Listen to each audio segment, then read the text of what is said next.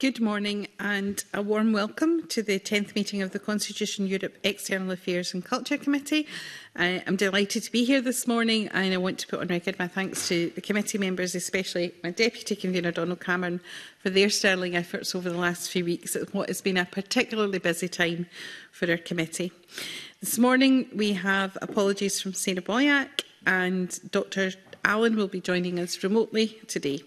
Um, can I welcome Paul Sweeney, who's here as a substitute member for Ms Boyack, and can I invite Mr Sweeney to make any relevant declarations of interest? Thank you, Convener. I have no relevant declarations of interest. Thank you and welcome this morning. Um, our first item on the agenda is a decision on taking several items of future business in private. Um, this is the draft report on the Scottish Government's resource spending review and a draft report on our inquiry into the Scottish Government's international work and consideration of our work programme. Our committee agreed to take these in private in future.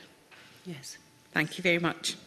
Um, our second agenda item is um, a further consideration of the humanitarian impact of the crisis in Ukraine.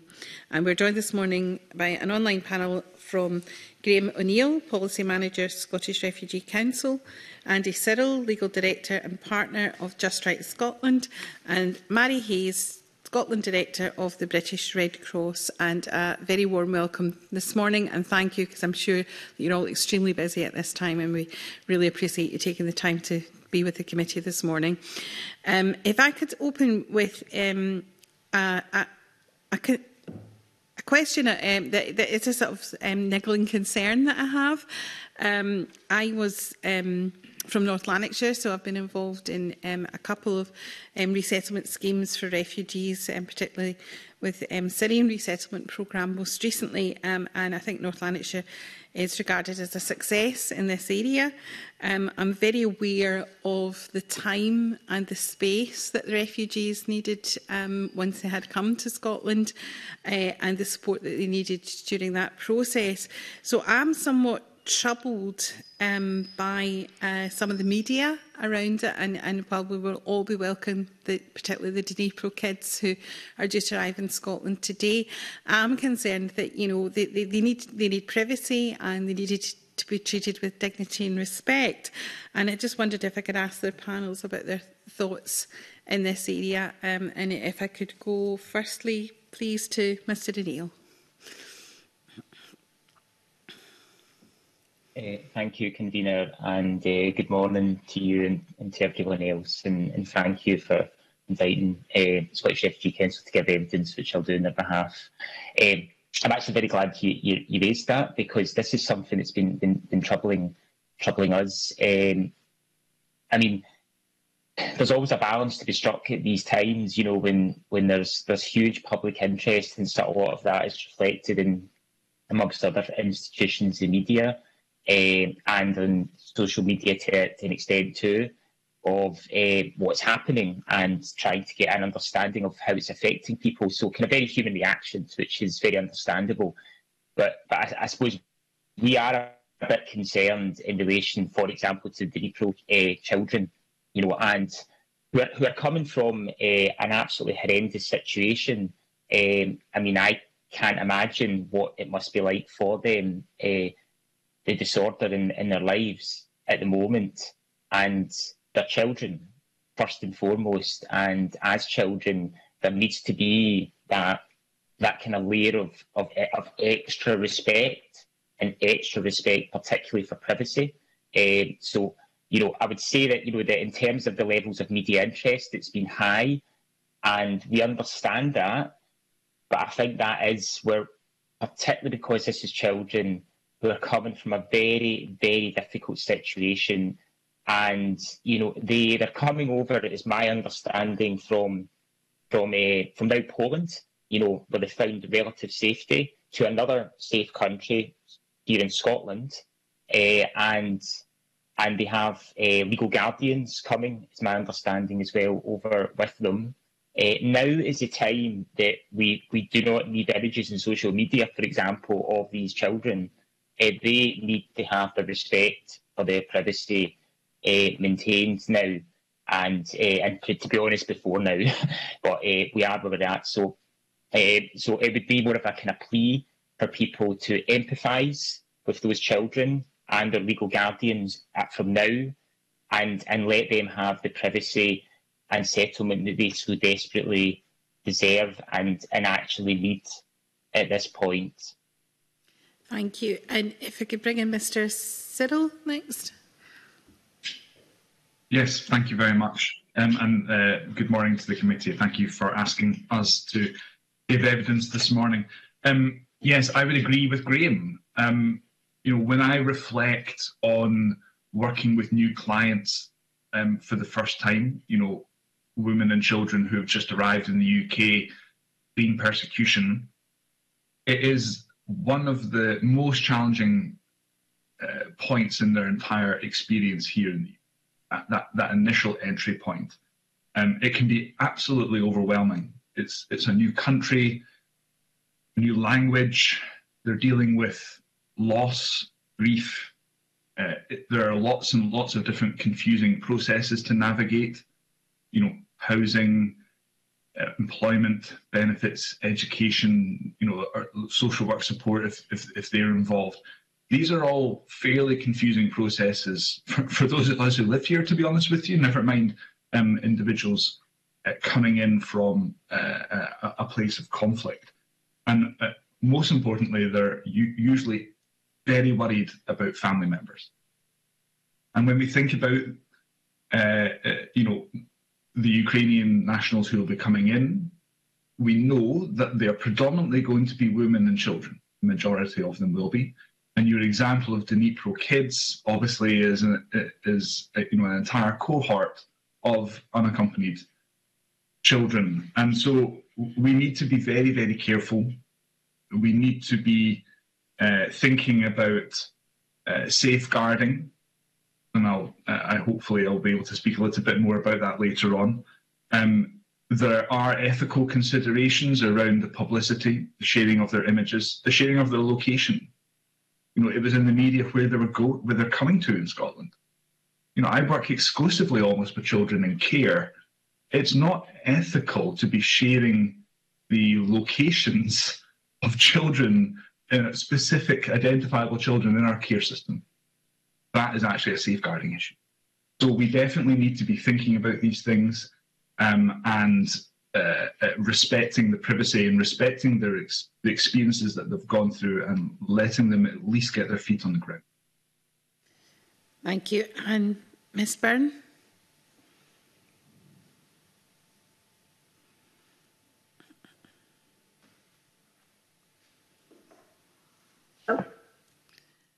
Morning. Sorry, did you mean me? Sorry, it's Mary Hayes here from the Red Cross. Um, I, Mary, I think... Um, extremely sorry. Yes, I looked at the wrong panel list. Mary, thank you. Sorry. Um, that's okay, um, and thank you for the opportunity. I think um, as part of the Red Cross movement, um, where we're involved, I suppose, at different stages in people's journey, both um, with our fellow societies in the Ukraine, to the societies and the border agencies, we have to recognise that this is a, a, stage in people's very traumatic journey. And I think you were, you pointed out we have experience in the past of people coming, of resettling. We need to learn those lessons. We need to learn what's work, what worked. And I think um, it would be good if the uh, committee also had an opportunity to maybe hear from people who'd come through that system in terms of, of actually what worked. But I think the media is a big challenge. It's worked very positively in terms of raising the profile of the issue, of helping to raise funds. But I think we have to treat people with the dignity they deserve. And what would we expect if we were coming? People are, are very traumatised on arrival. They need, uh, we are aware and we could fill in, uh, we'll come to what are some of the core elements for arrival and support. But I think we have to try and work with the media to respect the dignity of people and their need for a bit of space um, and support in terms of their own trauma um, and um, and where that is. And I think from the Red Cross's point of view, I think our our emblem is often a very reassuring, um, recognisable symbol symbol of what people can expect. Um, and I think um, Scotland wants to be humanitarian, um, but I think we do need to work with the media on what that means uh, for people's lives. Thank you. Thank you. And I, I know that um, a colleague, Miss Minto, wants to go into the, the, the learning um, that we have in this area. Um, but just before that, could I bring in for a supplementary Dr Allen, who's joining us online?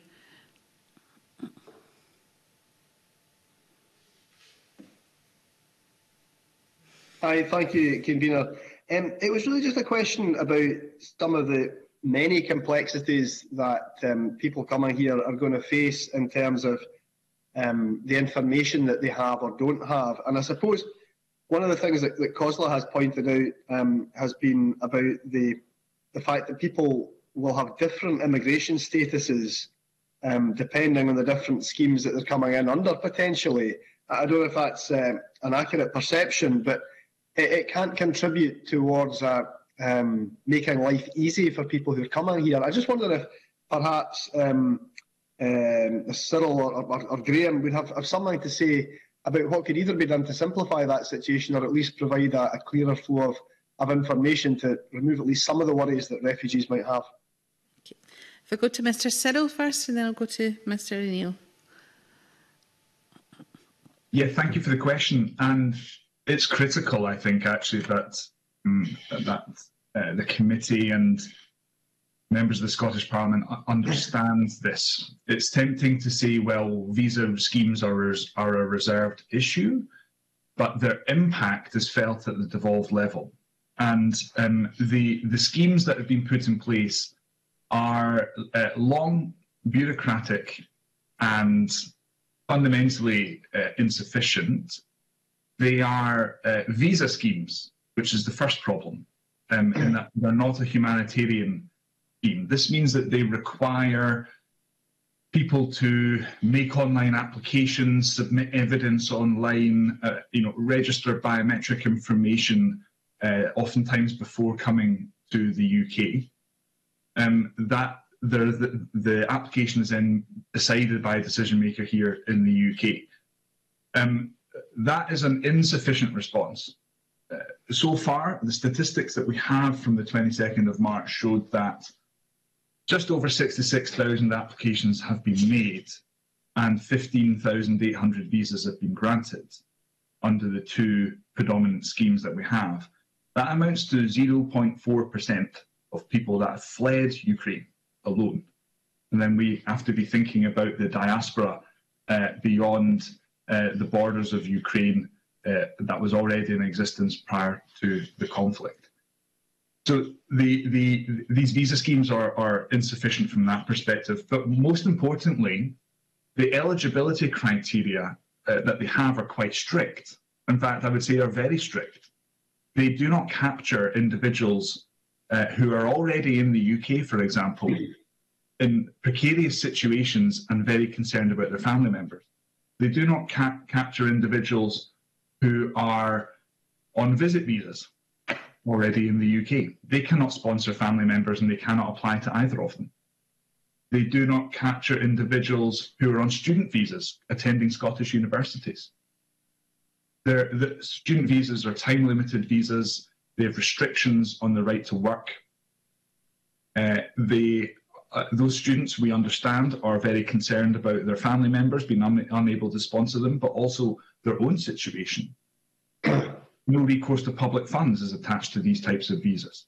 Those individuals are burning through resource and uh, are going to be at risk of destitution. And seasonal workers as well. I think it's very important to talk about them, and we, I hope we will talk about them in this committee session. Um, 67% of all seasonal worker applications uh, grants in the in the UK in 2021 were for Ukrainians. So this is a predominantly Ukrainian scheme. Seasonal workers are not eligible for either of the visa schemes that are in place. Uh, they cannot sponsor family members come here. They are stuck on specific visa routes uh, in the sense that they cannot change employer.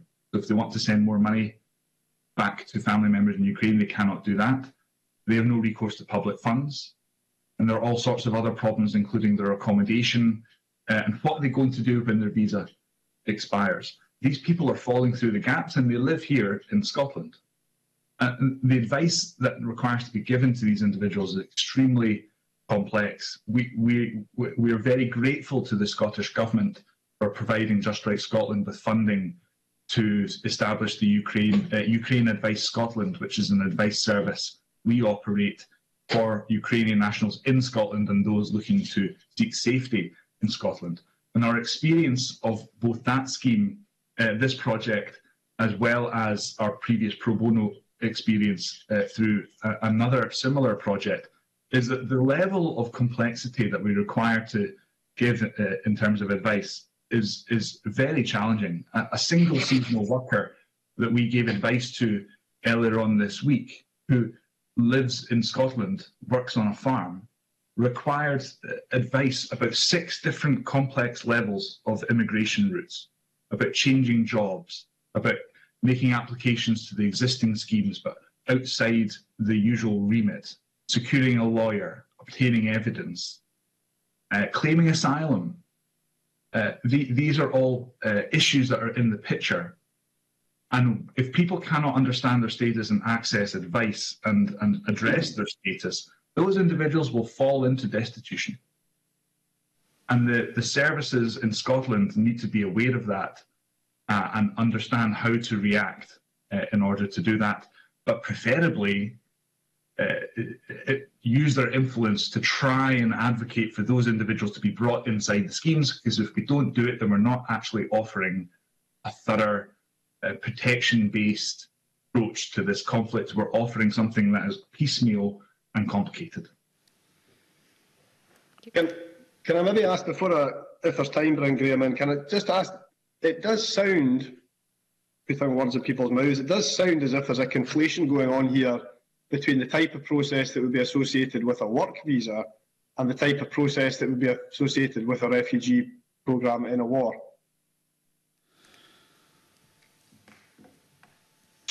Is that a question for me? Sorry.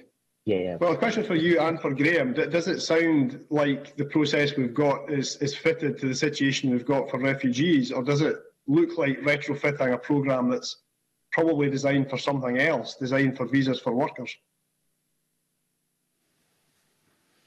Yes, I, I would agree with that. The visa, visa schemes are not designed or sufficient for uh, a refugee crisis. uh, and we're seeing that purely in the numbers, but we're also seeing that on the basis that we can look across the countries in Europe, and we're the only one operating a visa scheme. Uh, and the question is why?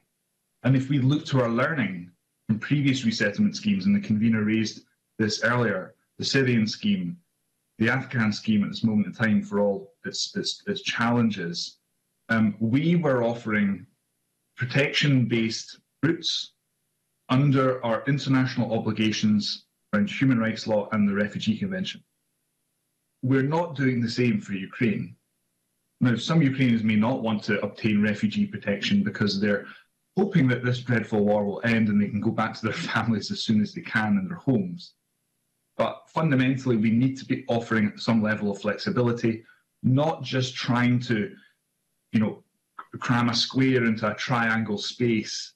You know, you, you're trying to use these these these schemes that are, you know, visa schemes inappropriate uh, in order to try and meet the need.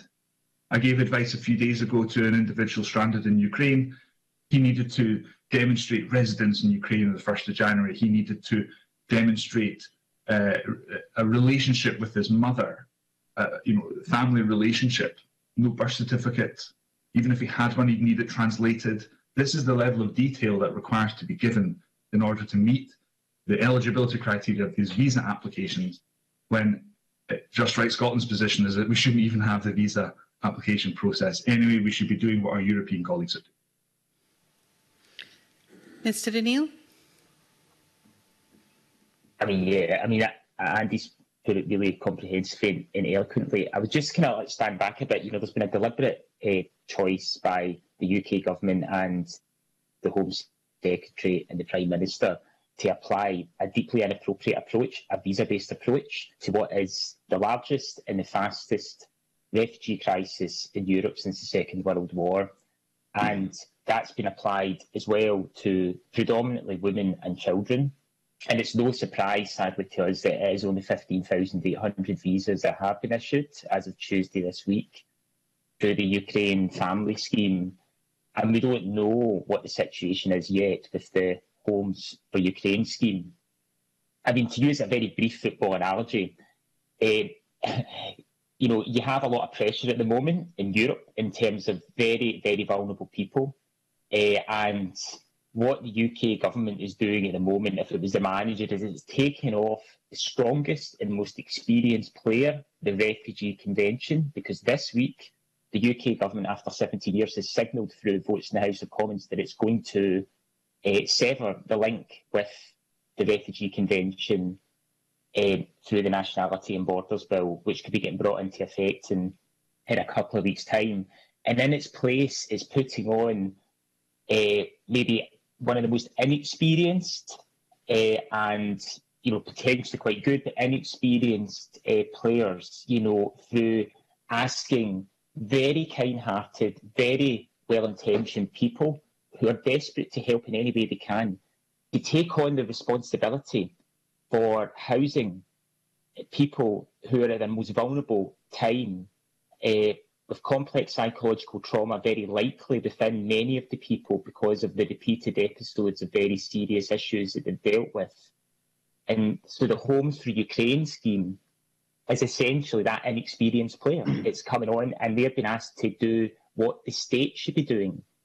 But what is actually happening is the state's withdrawing through the Nationality and Borders Bill, through withdrawing from the Refugee Convention, and in its place, putting in these visa based schemes in the midst of the fastest and largest refugee crisis in Europe. So this is deliberate and it's insightful and it's deeply, deeply worrying because if this can be done at a time of what's happening in Ukraine and the, the overwhelming public generosity and, and empathy that's evident here in Britain as well as in other countries towards people displaced from Ukraine and in Ukraine, in Ukraine, then what does that portend for later on when the Nationality and Borders Bill is enacted and is, is, the, is the arrangement that is put in place? So your question, I think, was very pertinent. You know, it's it's there's something kind of deeper going and more insidious and concerning going on here that we're having, as Andy said, a visa-based response to a refugee crisis, and what that means is that people are being traumatised by that visa-based response, as we're seeing in the horror stories of delay across Europe and, and elsewhere. I'll maybe stop at that point. I won't go into maybe we'll maybe get a bit more in detail about you know the super sponsor and in some of the other issues, but but there is something more deeper and insidious going on here, and it's uh, it's very very concerning, and we need to, as I'm trying to do, kind of name it here and now and hopefully that will help to increase the pressure for, amongst other things, visa requirements to be lifted off the shoulders of people. Because at the moment, the UK government is putting visas onto the shoulders of already desperately vulnerable people at their greatest time of need, and that is um, that is frankly unacceptable. But it is what is is actually happening. I'm, I'm going to bring Miss Hayes in in a moment, but I know Mr Ruskell had a particular interest in this area. Is there anything else you want to ask, Mr Ruskell? Um, I think particularly in relation to seasonal workers, given that we've opened that up, I'd like to ask a little little bit more on that, yeah. if that's okay, Convener. Um, I mean, uh, you know, and, and he's already um, uh, mentioned some of the, the visa restrictions there, and I think you know, Graham, um, you sent a very useful briefing through to the committee. I wonder if you'd like to say a little bit more about what the, the plight is of those seasonal workers. Um, I mean, particularly around housing, uh, some of the challenges around no recourse to public funds as well. Um, and also, Andy, you know, you've spoken about the kind of support and advice that these workers need. What, what, what should that look like on the ground? And are we looking at concentrations of seasonal workers around Scotland? Is there a way that we can effectively sort of deliver that support on, on the ground in areas where the significant communities of Ukrainian seasonal workers are working in, in the agricultural sector?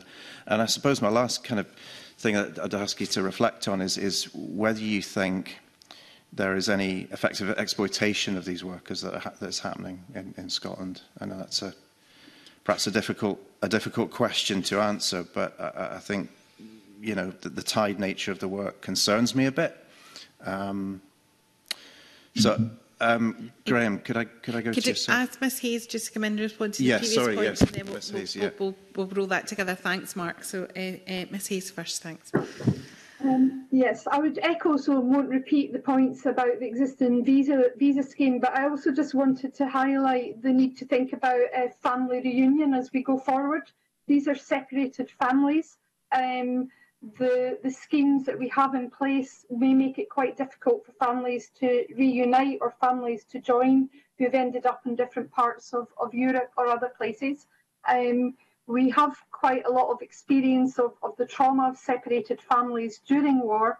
So I would really just highlight for the committee when we're considering this, we also think about some of the challenges of family reunion, some of the lessons that we've learned around that and try and build in to the process much earlier on and try and advocate um, on behalf of families' right to, to be together. As has been pointed out, a lot of people will want to go home, but when they're going to be able to go home, um, and when they're going to be able to have houses does mean that families um, who are separated may want to come together. The sponsorship scheme, the um, accommodations will all make that challenging. But I think if we could learn the lesson, and I'm happy to share some of the work uh, we've done offline with the committee, but uh, I just really wanted to put it down a marker that family reunion will be an important step in this process once families are here um, an important part of people being able to recover from trauma. Thank you. I'll go to Mr. O'Neill and then to Mr. Sirel. Thanks. Uh, yeah, thanks very much, uh, Convener and, and Mark, for the for the question. I mean, we have put in uh, kind of supplementary written evidence on this, and to be honest with you, we've been we've been really hammering this issue, the plight of seasonal workers across the UK who are Ukrainian nationals. Uh, as Andy rightly said, you know, in many ways, the, the the seasonal worker scheme ran by the UK government, which is which is basically, as many of us know, which is for fruit picking and vegetable picking in farms across different parts of the UK, particularly in the south of England, the east of England, and also particularly disproportionately in the east of Scotland. Also, is um, I mean, we, we think it's a problematic scheme anyway, regardless of because of the tied nature uh, of the, the, the, the work and the fact that there's very severe restrictions placed upon individuals where they essentially get a certificate of sponsorship from a, a sponsored employment agency that is itself contracted by the UK government. And that certificate of sponsorship is very tight on its restrictions and what the worker can do. So, you know, they need to work in a particular form of work.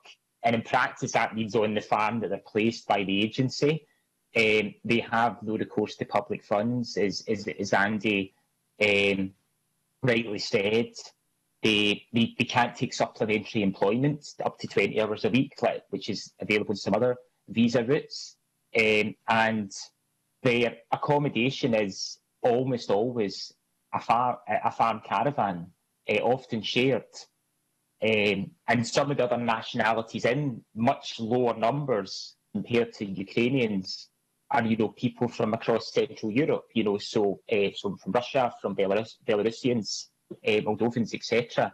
And uh, people come in a six-month visa. They need to go back out of the country before they can apply for another visa. It's not set up with workers' rights in mind, uh, to put it bluntly. you know, it's it's not what you would do if you were designing a workers' rights scheme. So, we think is became particularly actually we just think it's a hidden scandal at the moment, and we're really glad that, you, that you're asking about it, Mark. Is that we have, you know, we estimate low thousands across the UK of Ukrainian nationals stuck on farms, placed there by four uh, sponsored employment agencies, and they cannot, amongst other restrictions, bring their family over they don't have their own accommodation, so they can't go for the Homes for Ukraine scheme. They're not in the scope of the Ukraine family scheme, uh, as we're asking they urgently should be placed by the UK government as articulated in supplementary written evidence. Uh, and they're basically trapped at the moment. Uh, and I am sure mental health is really suffering. I'm sure that people are suffering in silence. I'm, I'm sure that there's a, a growing risk uh, which I think maybe Andy can speak to uh, in terms of cases of people falling into destitution, either because the work's just not there in the scheme, or it just became intolerable for them. And of course, if somebody leaves that farm and leaves that that, that employment agency, then immediately they're breaching this, the terms of their visa, uh, and that may not result currently and them being returned, thankfully, to, to Ukraine, because of course that'd be egregious. Uh, and but but nonetheless, you know, they're going to fall, and I'm aware myself of cases of people falling into destitution. The Home Office know more about these workers than pretty much any other person in a category because of the level of restrictions and intrusions into their lives. The Home Office are condoning this at the moment. There's no other way to put it. They're condoning it. Uh, the invasion's been for about a month now. Uh, they know exactly where these workers are. They know that they're Ukrainians. They know the restrictions, they can't bring family over. And they're deciding not to actually move those families into a set of rights. We've recommended practically the Ukraine family scheme so that they can bring family over, they can have freedom of work, they can start to do what anybody in this situation, they're refugees, that's what they are, their circumstances have changed grimly and drastically at home, uh, that they should be able to do, which is try and rebuild their lives and their families' lives here in the UK so that they can actually um, get on and, um, and, and, and start to cope with some of the issues that are affecting them. So this uh, this needs to have been done yesterday, and it hasn't been and it needs to be done now by the UK government. And I would urge the committee to write urgently within the next day or so on this issue to uh, the Home Secretary and to the Levelling Up Secretary. Uh, and, and, and ideally publicise that letter saying, please act now on this. Because if not, we're going to see more people suffering severe mental health deterioration, more people falling into uh, destitution, and more people suffering in real time the loss of their family members because they cannot do anything about it. Uh, this is no time for, for, for kind of uh, working around the edges of, you know, how can we deal with labour market shortages? The government can deal with that. The paramount concern, the overarching concern must be get Ukrainian nationals out of this scheme into the Ukrainian family scheme. And anything short of that isn't good enough and it needs to be sorted out. Uh, forgive me for going on a bit, but I think we just need to be really clear in this one. Thanks, Graham. That was really powerful. Um, Andy, do you have anything you want to add to that in terms of the practical advice and support for people? Um, yeah, I'll I'll just add one or two things to what um, Graham said. Um, of course, he uh, I agree with with the with the points that he made. You know, significant difficulties around the fact that seasonal workers are not eligible for the Homes for Ukraine scheme or the uh, Ukrainian family scheme they are Ukrainian nationals. They're in the UK. They're in Scotland, and the only reason why they can't sponsor family, or indeed apply to these schemes themselves, is because of the type of visa that they're on. It's, it's actually when you just break it down to that, it's actually quite extraordinary. Um, you asked about some of the uh, specific examples of, of, of things we've seen on the ground. So through um, the the legal advice we've been providing over the last month. Um, some of the issues, some some examples of, of the of the requests for help have included um, a, a, farmer uh, seeking advice about two Ukrainian couples who work for him, who have children in Ukraine, and they've got no way to bring them here. That is extraordinary uh, a seasonal worker who fled very poor working conditions and has been offered a job elsewhere, but they can't take it because of seasonal worker scheme. A woman on a seasonal worker visa here in Scotland on a farm that don't have enough work for her for the rest of the year. You know, that's that's why it's a seasonal worker scheme, because the work peaks and troughs. So the visas been, have been extended by the government to December, but, they, but there's not enough work and they can't move jobs. Uh, and finally, a seasonal, seasonal worker separated from his unmarried partner who's in Ukraine but he cannot sponsor. These are the types of things we're seeing come through. the scheme is trapping people inside it with no access to benefits, no sickness and disability benefit, uh, no ability to change jobs. And then it's outsourcing the responsibility for their welfare, their accommodation, their, their well-being on employers. So uh, even the best intentioned employer in the world is having a really difficult time with this. But I want to, um, uh, uh, so the level of advice is, is, is fairly large. I mean, uh, at JustRight Scotland, we're working just now on establishing a project specifically targeting seasonal workers uh, at some of these issues and including exploitation. And I just want to touch on exploitation uh, before I finish. You're absolutely right to uh, raise this. Uh, over the over the past few years, we have seen, unfortunately, exploitative practices in this industry. The seasonal worker uh, scheme, to be honest with you, is is a bit of a golden goose for exploitative work practices. If you are uh, an, an employer in legitimate industry looking to uh, or, or, you know looking to exploit people, it's a bit of a it's it, it, you know it's a real aid uh, in that unfortunately, and and I think that the more the more people are pushed towards desperation, uh, then the more likely they are to be exploited. That is not a controversial thing to say. That's common sense, and we see it time and time and time again.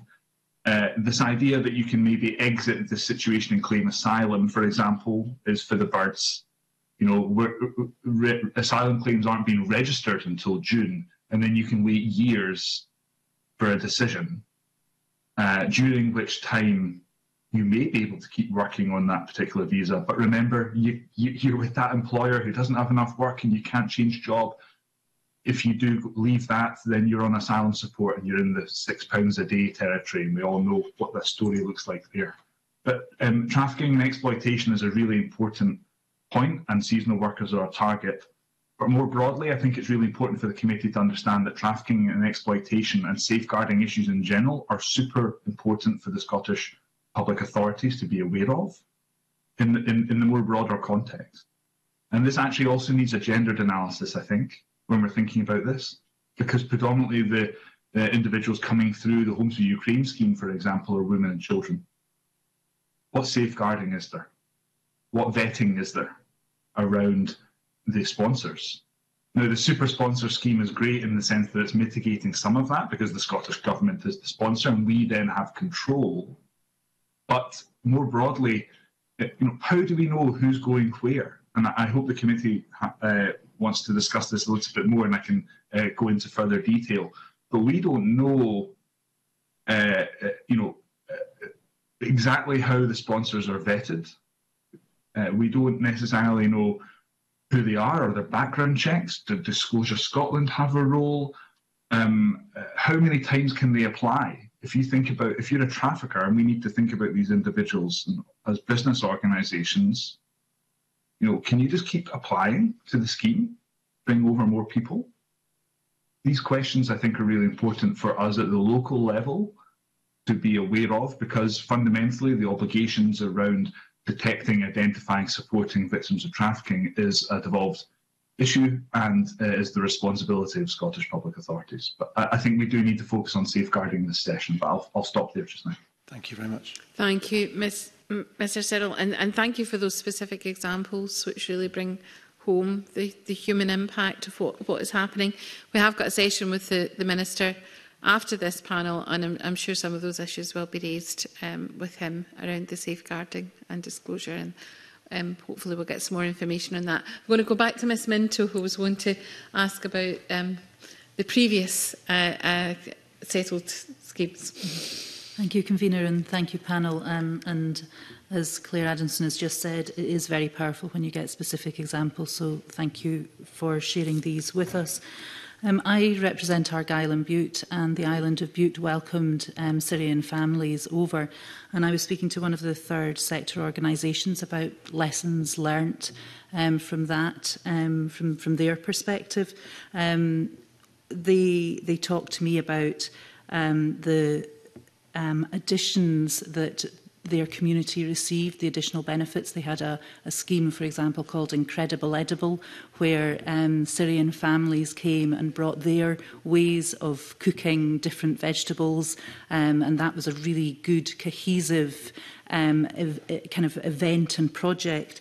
Um, one, one of the concerns that was raised with me was um, where Argyll and Butte Council did a fantastic job and provided a lot of support for learning English, for example. But um, perhaps there was a, a, a, a, a, maybe a lack of recognition that people learn and um, at different speeds. So the young, the younger people were learning very quickly, where the older um, people that came, families, were, were a bit slower. So I was interested when Andy talked about the form filling and getting through the, the different procedures. So I'd just like um, your thoughts, if possible, on um, what we've learnt, what we can do better. Um, and uh, yeah, I'll, I'll finish there. So I don't know, Mary, do you, do you want to start? Uh, thank you. Um, yes, you're you're right. Um, we do have a lot of the learning. I think uh, um, we uh, both here in Scotland um, and across the UK, we've we've run different schemes um, and had welcomes for everybody. I think that the fundamentals I think are around, um, and I'll leave aside the kind of matching process and the hosting, which is obviously a little bit of a topic on its own. But I think um, I think whether it's a virtual welcome uh, program or or an actual welcome program, and different people respond in different ways. I think the the actually having a space for four or five days and a program which actually introduces people to the country, which um, takes them through some of the benefits, which gives them just a bit of headspace to think about what they need and what their matching might be. I think if we're thinking of trying to match people up, then actually doing it when they're in a, a kind of quite a traumatic situation in terms of what they want. So I think um, there, there's a lot of evidence that would say sometimes some of these um, reception centres can work quite effectively for a lot of people, and it has to be a person's choice if you're if you're coming in, not family. I think health, the immediate bit around a lot of these people are vulnerable a lot of the people that displaced have got very young babies, are pregnant, disabilities, or older people. So I think some kind of a immediate bit around people's health needs um, and, and the challenges we're going to have in being able to respond to that.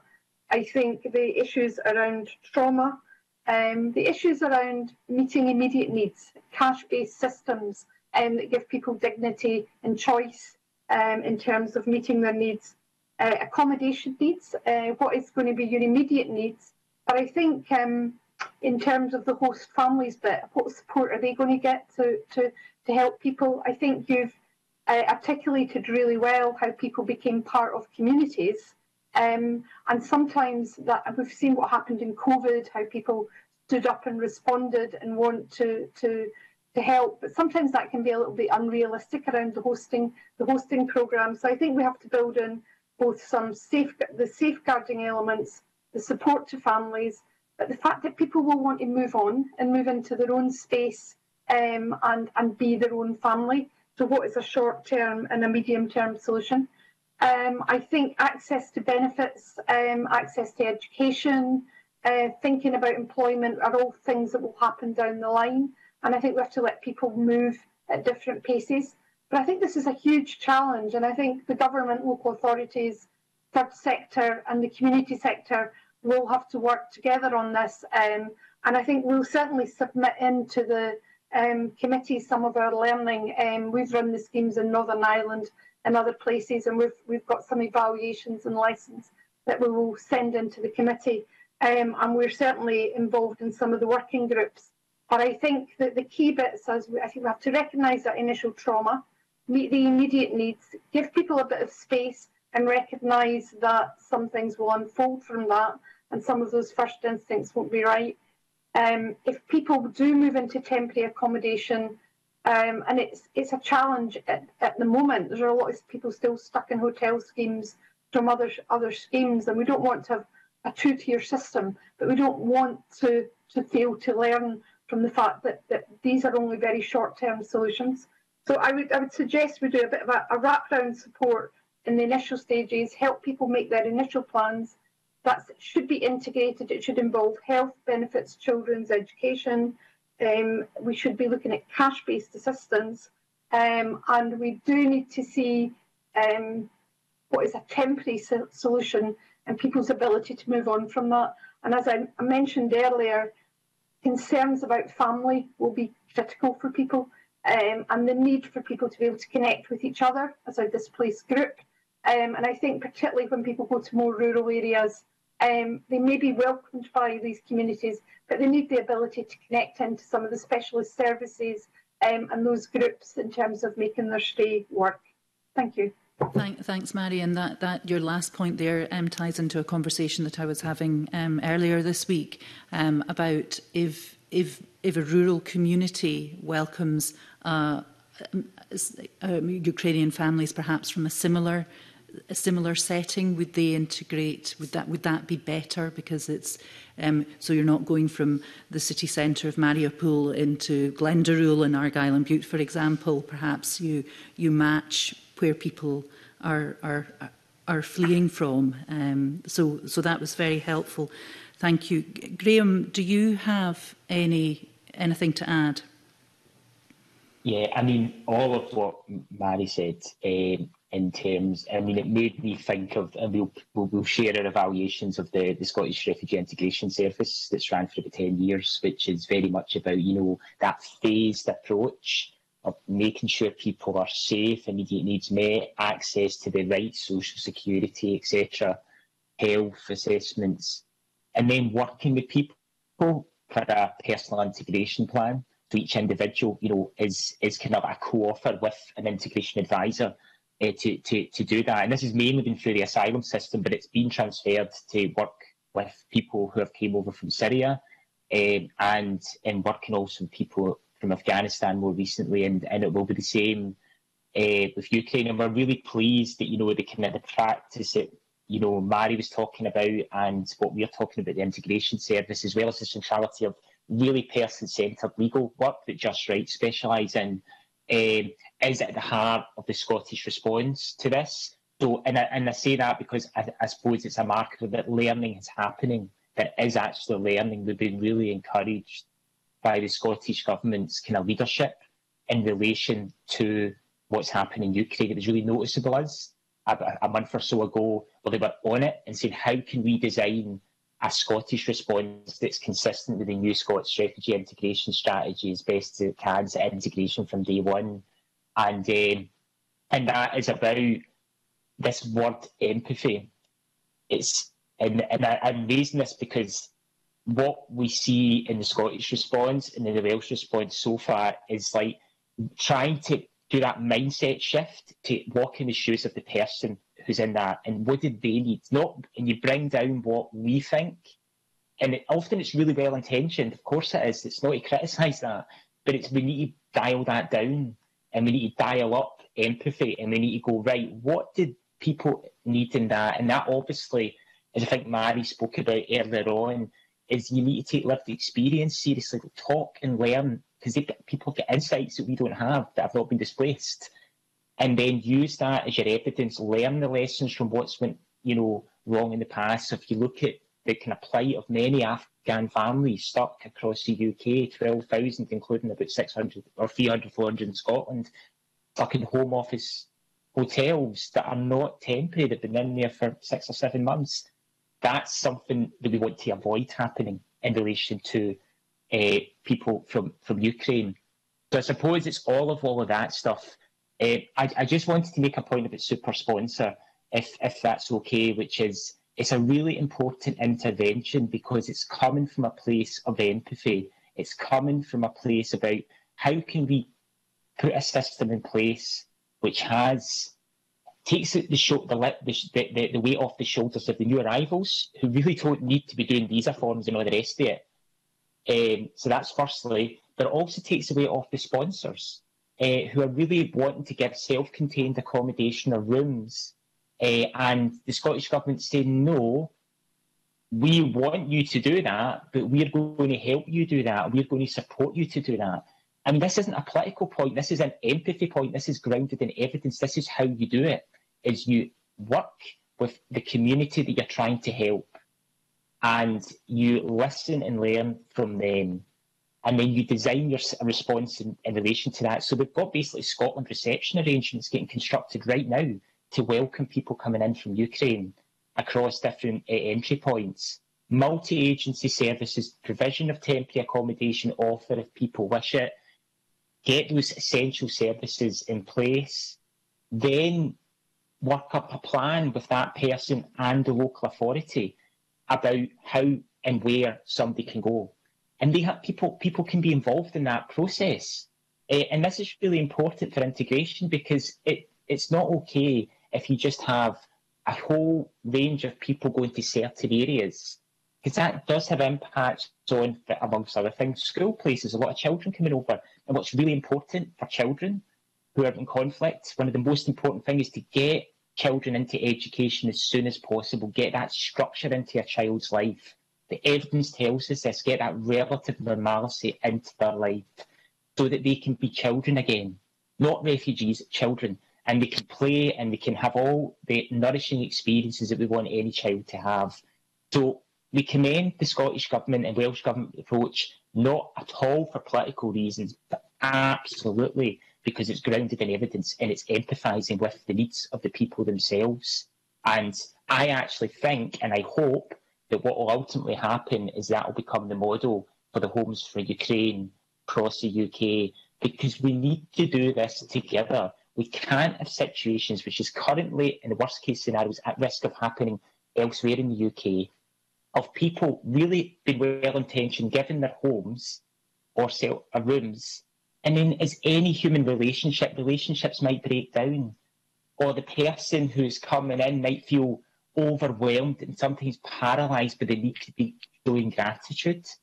When actually what they really need to do, going back to empathy, is respect the dignity of that person and the fact that they will want at some point to have their own accommodation where they can know that it, they can have their dinner when they want to have their dinner. They can ask the kids to do their homework when they want to do that and not feel that kind of like understandable, very human sense of duty which over time, and this is the serious point I support, well, it's a serious point, but the serious point is, is people are going to be living with quite complex trauma. Uh, they may be hearing of tragedies as they're living in homes right there now. And it's a bit much to ask of, I think, individuals who have kindly given up their homes to be to be dealing with some of that without adequate support. And this isn't a kind of like unlikely thing. This is this is likely to happen given you know what's happening in Ukraine at the moment. So there really needs to be that ongoing support, and we're confident we're seeing that in Scotland and Wales, and hopefully it will come round that way in terms of in terms of England. But I've spoken to some local authorities in England uh, uh, only this week, and they're concerned because they don't really know exactly what's happening, who's been moved into their areas through the Homes for Ukraine scheme, and of course, the worst case scenario is the risk of destitution or exploitation. And as Andy eloquently said, that, that is a real risk. Uh, people will target, that are minded to exploit will target this type of scheme because they see low checks and go, okay, we need to we need to think about that. So, um, so yeah, in terms of the Homes for Ukraine, the super sponsor concept and practice is the way forward in relation to that. Um, and I really hope that that is what becomes the norm across the, the UK. Thank you. Thank you, Graham. Um, and Andy, have you got anything to add?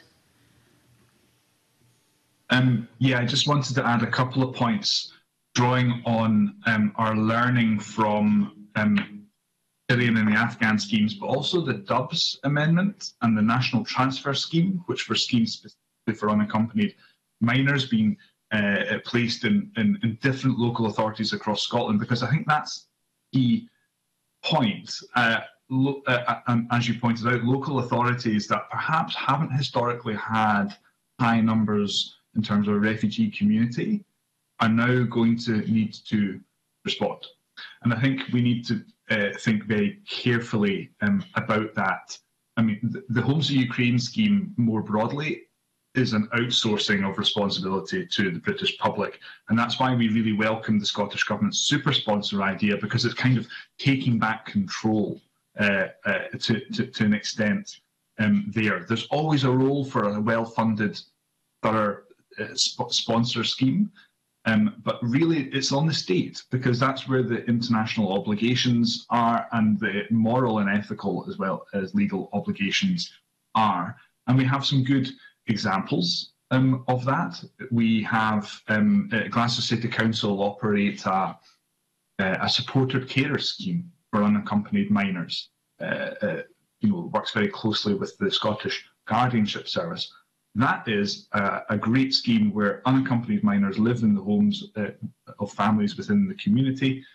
But there are some fairly, it's operated by social work services, and there are some fairly robust uh, safeguards there. And when I talk about safeguards, I don't just mean, uh, you know, I, don't want to get this idea that we're worried about predators, uh, predatory sponsors, etc. You know, we've spoken a little bit about that, but more generally, as Graham said, and as Mary said, it's to help the community, to expect the community to uh, house and look after or, or support traumatized individuals uh, uh, where there are language barriers and things like that is a lot to ask.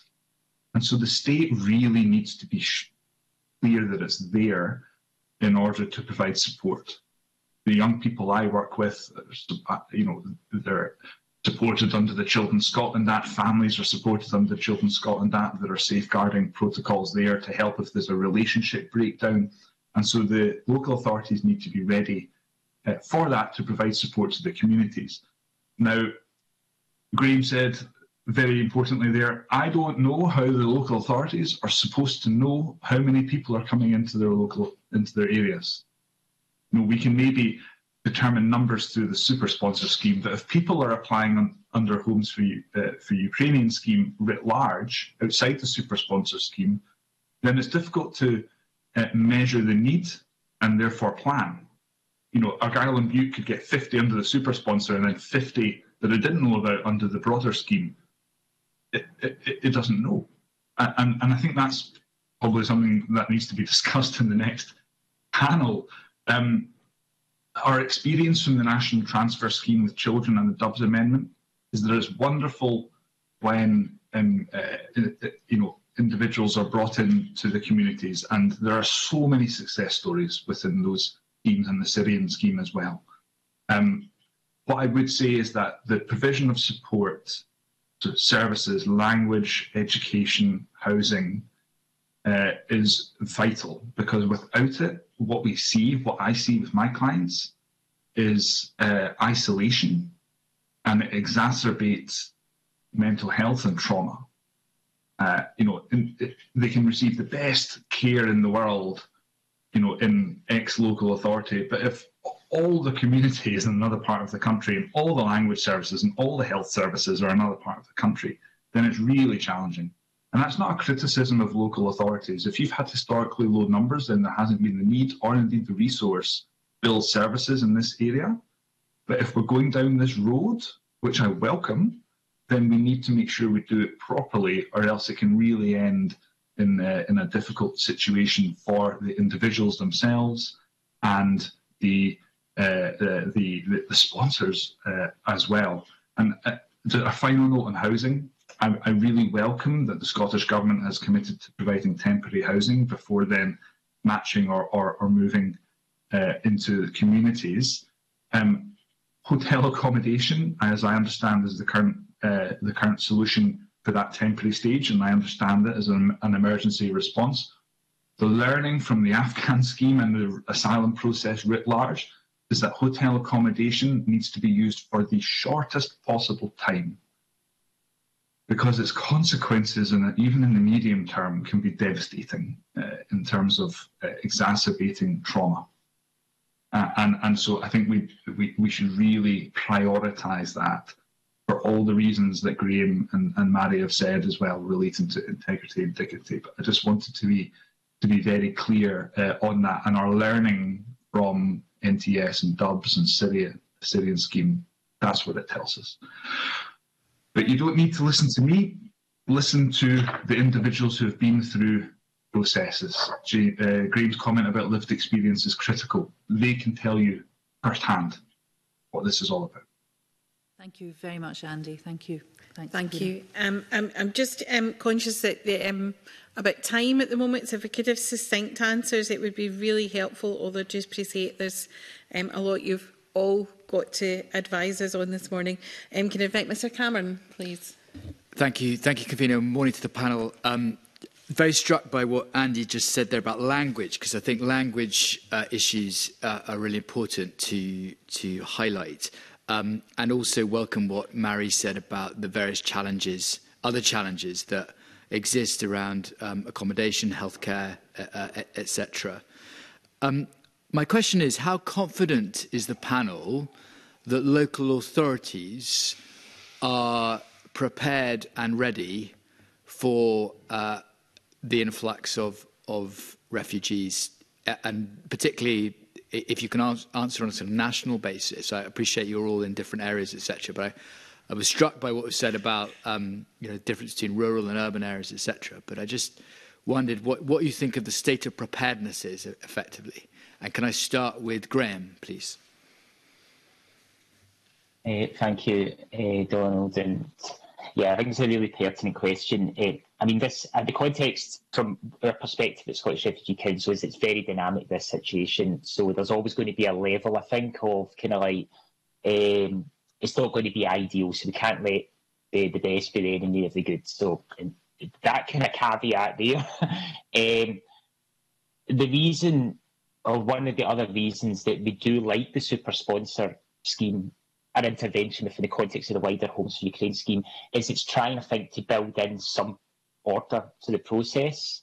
Uh, and by that I mean, you know, just in terms of getting too much of the detail, you know that we know that if somebody, for example, if I apply in the Homes for Ukraine portal at the UK level, which is the portal, and I can put the Scottish government, I can put my details, I put my postcode of the property, etc., uh, there, and then basic information like you know, name, postcode, and the property would then be passed over to the Scottish government. Um, if and then, and then you know, if, in particular, if I've marked Scottish government as a sponsor, then that will make it even more simpler within that.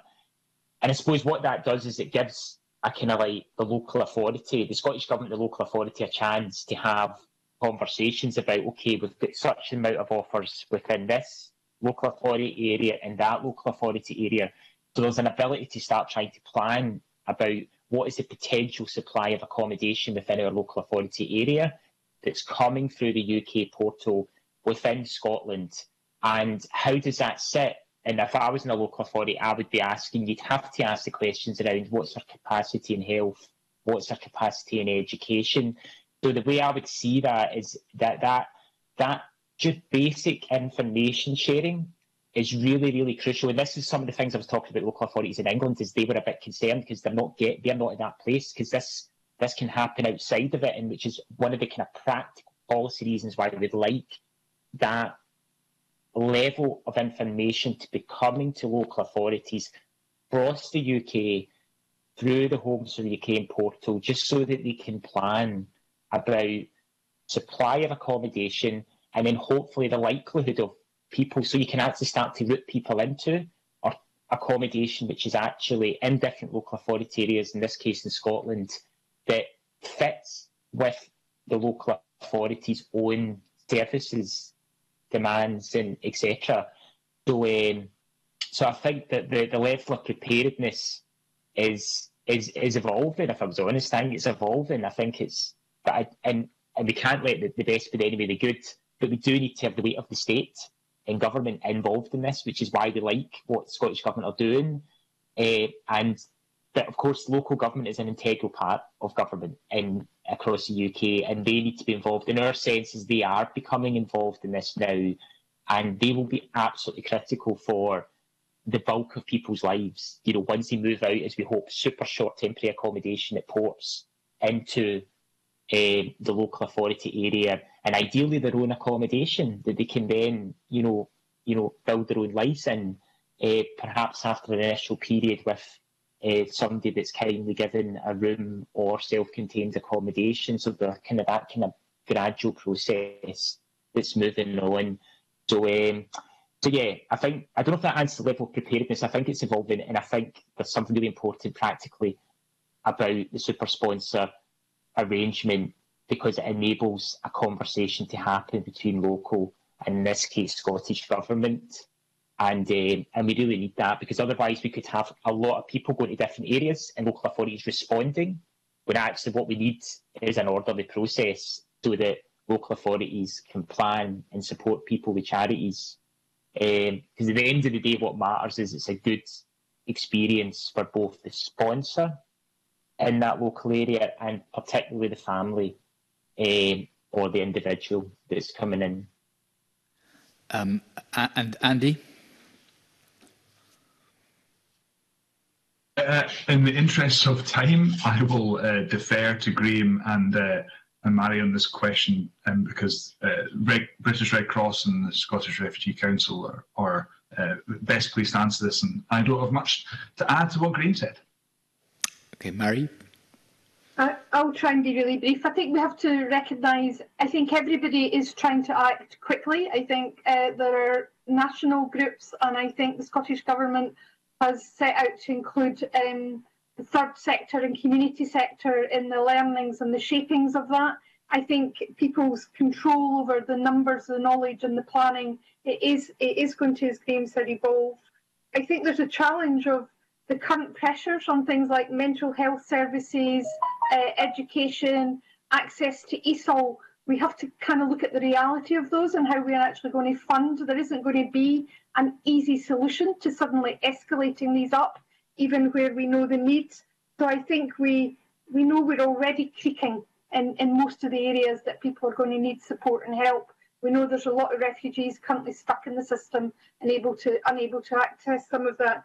So I think the, the funding package that will support local authorities, the need um, uh, to support areas out with the central belt where there may be specialist services, special supports in terms of mental health, uh, the need to kind of spread that out are quite critical. So I think um, I think the capacity modelling is something that we have to to kind of try and, and build on on an ongoing basis. But I don't think there's going to be any easy answer to it. And I think I think we have to look at the funding commitment beyond year one because this isn't going to be something that's going to just um, shift shift really really quickly or easily. Thank you for those answers. Thank you, Convener. Thank you. Um, Mr Golden. Uh, thank you, and thank you, panel, for the evidence so far. I'm quite interested in, in what we can do uh, in Scotland to support uh, refugees. Clearly, this is the Scottish Parliament, and our role is to scrutinise and assist Scotland and the Scottish Government. So um, I was quite interested, Donald Cameron touched on, if you like, the, the funding and the physical support, but I wonder if you can outline what uh, support is available in the emotional space as well. And how the third sector can help to facilitate that. And perhaps if we start with uh, Mary. I think um, that probably both um, ourselves and the Scottish Refugee Council have experience of offering psychosocial support and trauma support. There are some specialist agencies um, around who are doing that.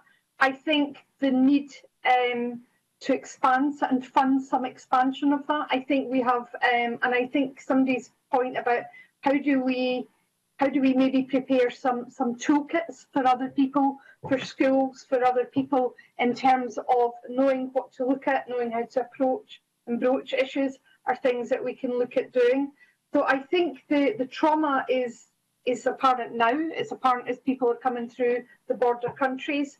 It will be quite quickly, I think, after people um, are received and welcomed. Um, some of the other issues might emerge, particularly around having lost home, family, separation, uh, the anxieties about the future, uh, there is a, a, definite need. I think we have to recognise the genuine challenge to um, in our existing waiting lists around mental health provision. So I think the investment um, and looking at how we train um, and develop that support using some of our current specialist providers to maybe shape some of that would be important and, and really making sure it's accessible out with the cities um, if we are going to be placing people around the country. Thanks for that. Andy, do you have any comments? Um, yes, I would just I would just add, you know, our experience um, of working with clients uh, uh, and you know navigating through their emotional needs and mental health tells us that um, it has to be seen as something that works hand in glove with the other services that are around. So, for example, uh, the legal service that we provide is a very intensive legal service. It's trauma informed, it's child centred, it's gender, uh, it's it's uh, has a gender analysis. And very often, I will need to stop engaging with our client for a period of time so that they can access uh, uh, trauma therapy, and then when they feel better, they can re-engage. Uh, good legal service isn't just a, a, line where it says constant engagement. It peaks and troughs with the needs of the individuals, and that applies not just to engaging with lawyers, but engaging with other services. Um, to be honest with you, trauma trauma specialist mental health care in Scotland pretty limited at this moment in time. Um, we have amazing initiatives within the third sector, the Guardianship Service, the Refugee Council, the Red Cross, organisations like Govan Community Project, Maryhill Integration Network. They provide a community-based, you know, these grassroots organisations are providing uh, support on the ground level uh, in the best way they can within their resources. But at the national level, you know, if I think about uh, CAMHS, you know, you probably know well the issues around waiting lists there. I'm thinking about the Glasgow Psychological Trauma Service, which is an NHS-based service within uh, within Glasgow. That in, its, in and of itself does amazing work, but there's a waiting list now. Uh, it's long, and the service is only for the Glasgow region. I work my clients that I work with uh, more broadly uh, across Scotland um, struggle to access this. I, I, had a conversation a few months ago with a social worker where I had to stop engaging with a client because he was telling us, guardian and a social worker and me, you know, I can't do this right now. I need help. And in the area and in all of the surrounding local authorities, there was not a single provision of psychological trauma support. And that's because, you know, for reasons that I've said already, you know, the demand hasn't necessarily been there historically but it is now. And, uh, and I think we need to be quite innovative in how we react to that. It needs to be well resourced, but I'm thinking, you know, perhaps local authorities work together in, in order to provide a regional hub. There are lots of ideas on the table, and I think that local authorities should be encouraged to think about that. And uh, uh, because the the workers on the ground, uh, the social workers, for example, you know, it's hard for them uh, uh, where where they're being asked for help and they literally can't provide it because there isn't anything. So I, I think that you know as we expand resettlement schemes across the country, this needs to be prioritised. Thank you, Andy. Graham, do you have any, any thoughts? Yeah, I mean, I agree with what Mary and Andy said. I mean, this is where I think the Scottish Government need to uh, apply their, uh, their national uh, psychological trauma framework, which is there it's precisely for populations such as the women and children predominantly that will be coming over from Ukraine. Uh, so that's and that's all about building capacity, uh, like trauma informed or trauma skilled um, services, and that's what we're going to need because as, you, as we know about the waiting list, as, as Andy said in CAMHS, we know about the waiting list very much in the specialist interventions.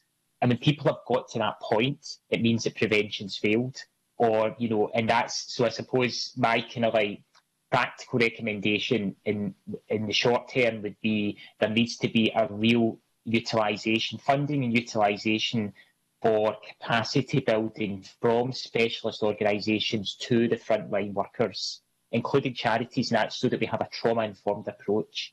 Uh, and then longer term, we start to kind of build up the capacity within the specialist services that will not only be needed for people, this is a wider point, not only be needed for people that have come from, from Ukraine, as well as people, other refugee populations, but the people in Scotland as well, because they're in waiting lists too in relation to these services. But maybe if the, the Ukraine refugee issue is something, is one of those moments where it kind of concentrates the mind of government to say we need to really up the psychological train, tra uh, trauma framework so that it capacity builds, kind of spreads that trauma-informed knowledge, but then it also builds in some greater specialist capacity because it is going to be needed, and that's a good thing for everybody. Because at the moment, the waiting lists are a kind of symptom, amongst other things, of the, the prevention has failed, and it's we need we need to not we need we need that not to, to, to, to go on for too long. Thank you, Graham. Thank you, panel. Back to you, convener. Thank you. And, and just a, a, another wee nudge that we are up against our time limit at the moment. So, but um, if I could bring in Mr Sweeney. Thanks. Thank you, convener. Um, I was particularly um, struck by the description of the plight of people on the seasonal workers scheme uh, and the, the implications that the current situation has for them. Um, by and large, vast majority are Ukrainian. Um, I would just like to ask Mr Sowell in particular it's great that the, the, the Ukraine Advice Scotland system has been set up. I just wonder how easy it has been to actually reach people on the farms and in these locations where they're physically restricted to these sites? Has that been something that's been relatively straightforward? Has the Home Office been cooperative in terms of providing the relevant information of where they're located? Um, so I can give you the our experience of setting up Ukraine Advice Scotland uh, uh, thus far, uh, and the, the, the work we're intending to do around uh, reaching seasonal workers. Um, Ukraine Advice Scotland at this moment in time is an email advice inbox with a helpline that runs twice a week.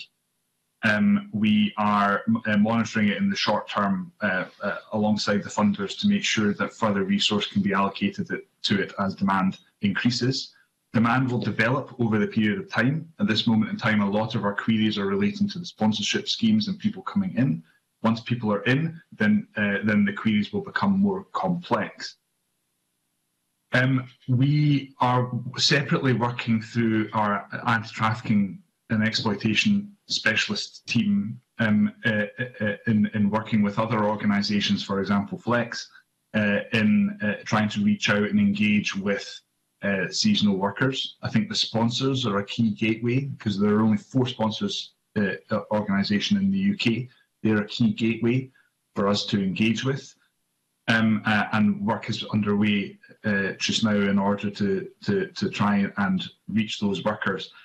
The advice we've seen through the, the, the, the Ukraine Advice Scotland and its predecessor, that was UK wide, pro bono, uh, uh, pro bono scheme um, for volunteer lawyers, uh, was very much people uh, coming because they have a problem and they were lucky enough to find us. I worry about those who weren't.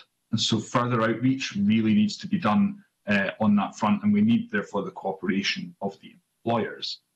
Home Office uh, has not been particularly forthcoming yet, in my experience, although I'll probably defer to Graham uh, uh for a specific answer uh, on that. For example, the statistics do not tell us where they are. They tell us what countries they come from and all sorts of other things, but they don't tell us exactly where they are.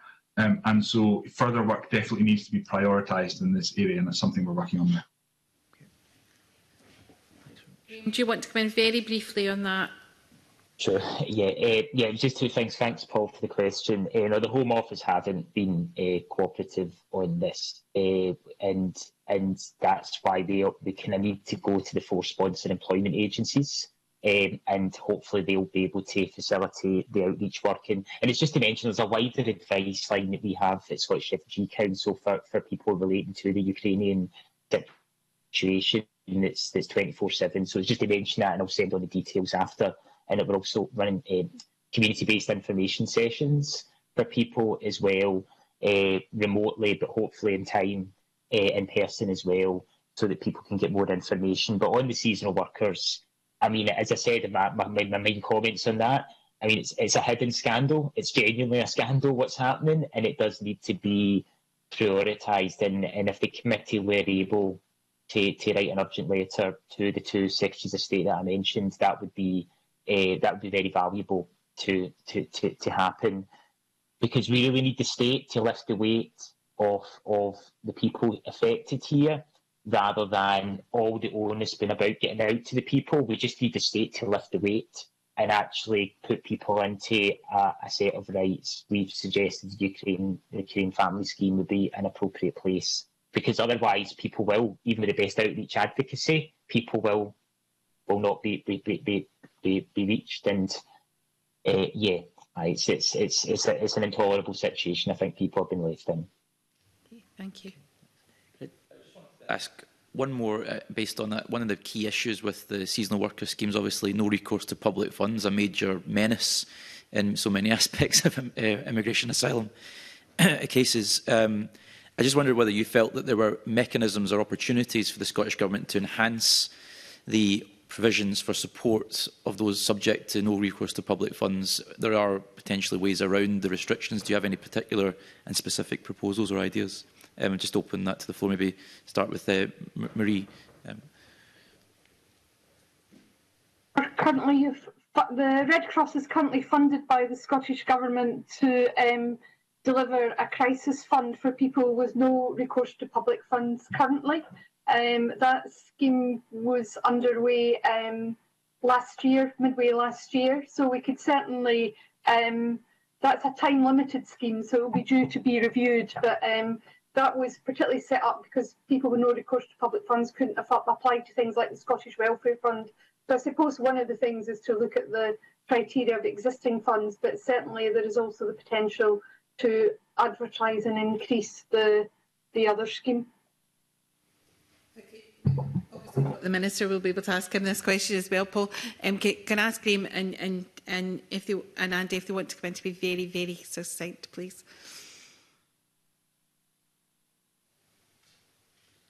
Graham? Yeah, yeah. I mean, my, my point would be we have a national anti-destitution strategy this is a population, Ukrainians and temporary visas, including particularly seasonal work visas, that are now at increased acute risk of destitution. The Scottish Government need to apply with COSLA their anti-destitution strategy to this risk, this group of these people that are becoming destitute. And uh, to be fair, I think they are in some ways through the funding of Ukrainian Advice Scotland, some of the funding they put Scottish Refugee Council for Integration Advice.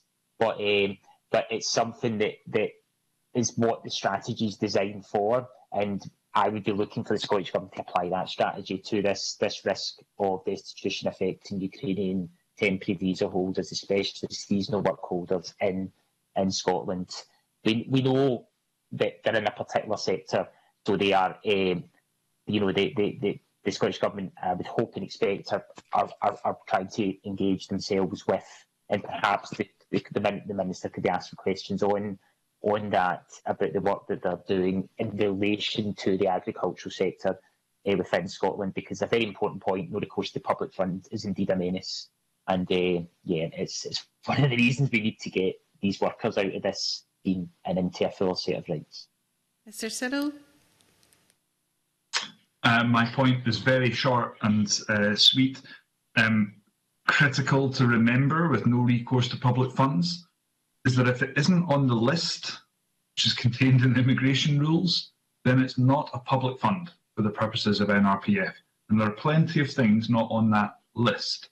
So uh, a key issue we see in practice is a misunderstanding around that and understanding it by services that any provision of service in the state is a public fund, and that's not the case. So we have existing tools to use in order to provide accommodation and financial support in emergency situations to individuals, uh, not just women and children, but uh, you know destitute seasonal workers as well, uh, and we should uh, ensure that we do use those.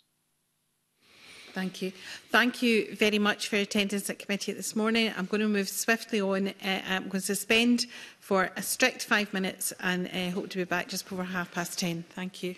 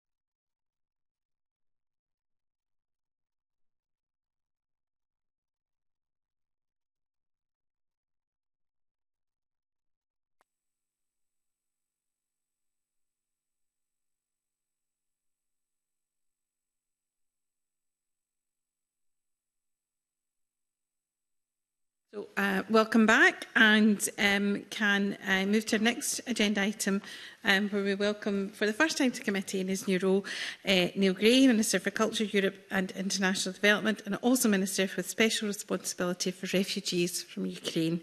He's joined online by his um, officials, Alison Byrne, Director of Equality, Inclusion and Human Rights, and John Primrose, Deputy Director of International Division. Uh, and can I look forward to working with you on this issue going forward, uh, Minister. Um, and I believe you have a short opening statement for us. Thank you very much indeed, Convener. Good morning, uh, colleagues. Eh, when I was appointed as Minister just two months ago. I couldn't have ever predicted that my first committee appearance would be to discuss these matters to, uh, that we're discussing today. Just four weeks ago, Russia's um, illegal invasion of Ukraine unleashed death, destruction and the displacement of up to 10 million people within the country and abroad. Uh, Scotland stands in resolute solidarity with the Ukrainian people and the Scottish Government is committed to playing its full part in the global humanitarian effort and in offering a warm welcome, safety and sanctuary to the displaced people who desperately need it. In the short time since we knew the UK Government were introducing a visa scheme to allow displaced people to find refuge within the UK, we have worked rapidly and constantly with a range of partners to set up our Warm Scots Welcome programme and super sponsor scheme, linking into the UK Government's Visa and Homes for Ukraine scheme. We've chosen to act as a super sponsor to short-circuit the matching process and enable significant numbers of displaced Ukrainians to come to Scotland without necessary delay. To prepare for that, we have established welcome hubs to support displaced Ukrainians arriving into Edinburgh, Glasgow and Cairnryan, where all those who need it will find safe and comfortable accommodation and a hot meal, and where local partnerships are already in place to make an assessment of need for additional services.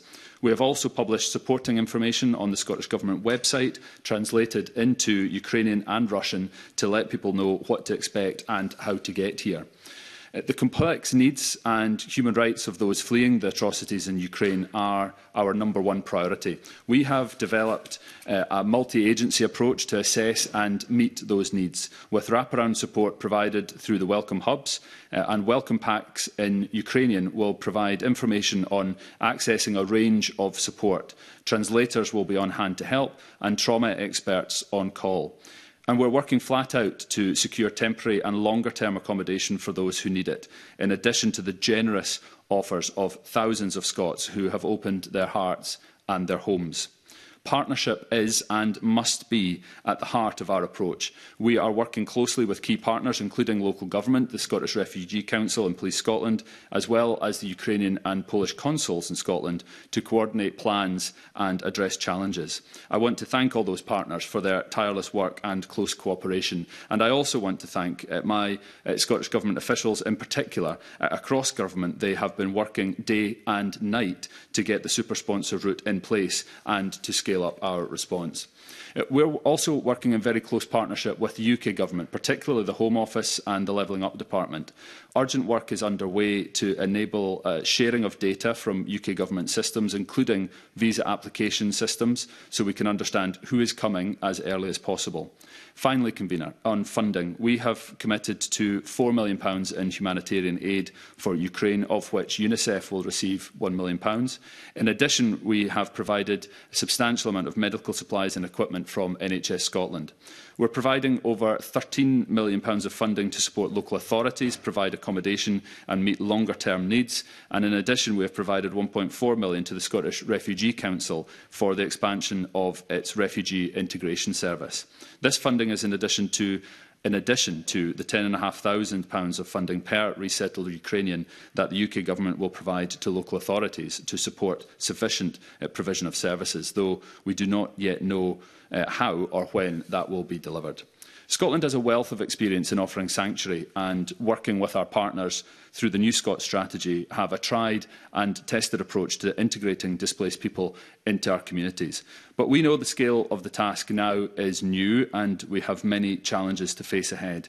We are committed to continue to work with our partners to ensure Ukrainians will be welcomed and supported with access to the care and services they need. As the First Minister said at the weekend, we will treat people with compassion, dignity and respect, and Scotland will be their home for as long as they need it to be. Thank you very much, Minister. Um, and um, on, on that note of passion, dignity and, and respect for, for refugees coming here, um, and as one who has experienced a resettlement scheme in North Lancashire, which I'm sure you're very familiar with as a parliamentarian for that area, um, and how successful that was, um, particularly for Syrian refugees. Um, I do have a concern about the level of media mm. interest in, in some of these cases. Um, Dnipro Kids being one of them, and we've talked about how welcoming and, and the, the, the Scottish people you know, stepping up to, to, to welcome people, and that's a long-standing um, relationship with um, between a, a, a football club and Hibs Football Club and yeah. and Dnipro Kids, um, um, and, and they've been able to build on that relationship. However, How do we ensure that those coming um, have their privacy, their dignity and their respect and that they're given the space and time to deal with resettling? Uh, thanks, Kavira. First of all, I want to commend Dnipro Kids for the work that they have done. I, I think that should go without saying, but I think we should be uh, reminding ourselves of the phenomenal work that has gone in um, to get the children here, um, and I'm very pleased uh, that they are here. Um, in more general terms, I think uh, for everybody arriving um, in Scotland, we need to make sure that we are respecting their privacy um, and uh, ensuring that the locations that they are going to be at uh, and uh, the routes by which they are arriving, uh, they are, their privacy is respected and maintained.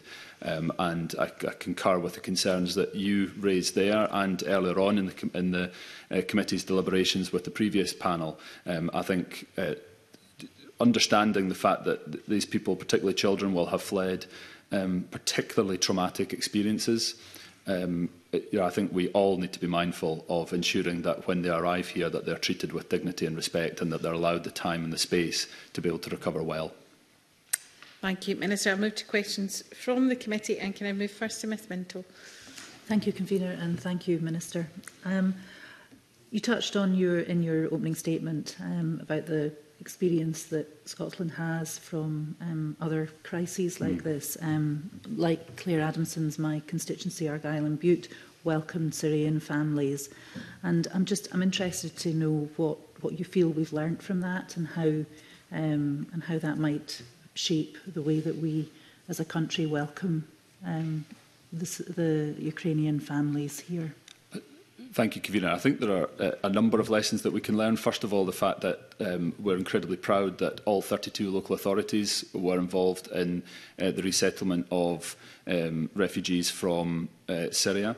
Um, and secondly, the fact that PAC partnership working was uh, a key part of ensuring that success from UK government, Scottish government, local authorities, the third sector. There was a very clear uh, partnership working approach that ensured that uh, people were provided with the security that they needed but, uh, and the, the sanctuary that they required, but also the, the, then the long-term support. And reflecting on um, the convener and, and I, uh, uh in terms of our local area North Lanarkshire, I believe that there was a particularly strong model there for the Syrian scheme in terms of uh, volunteer befriending networks.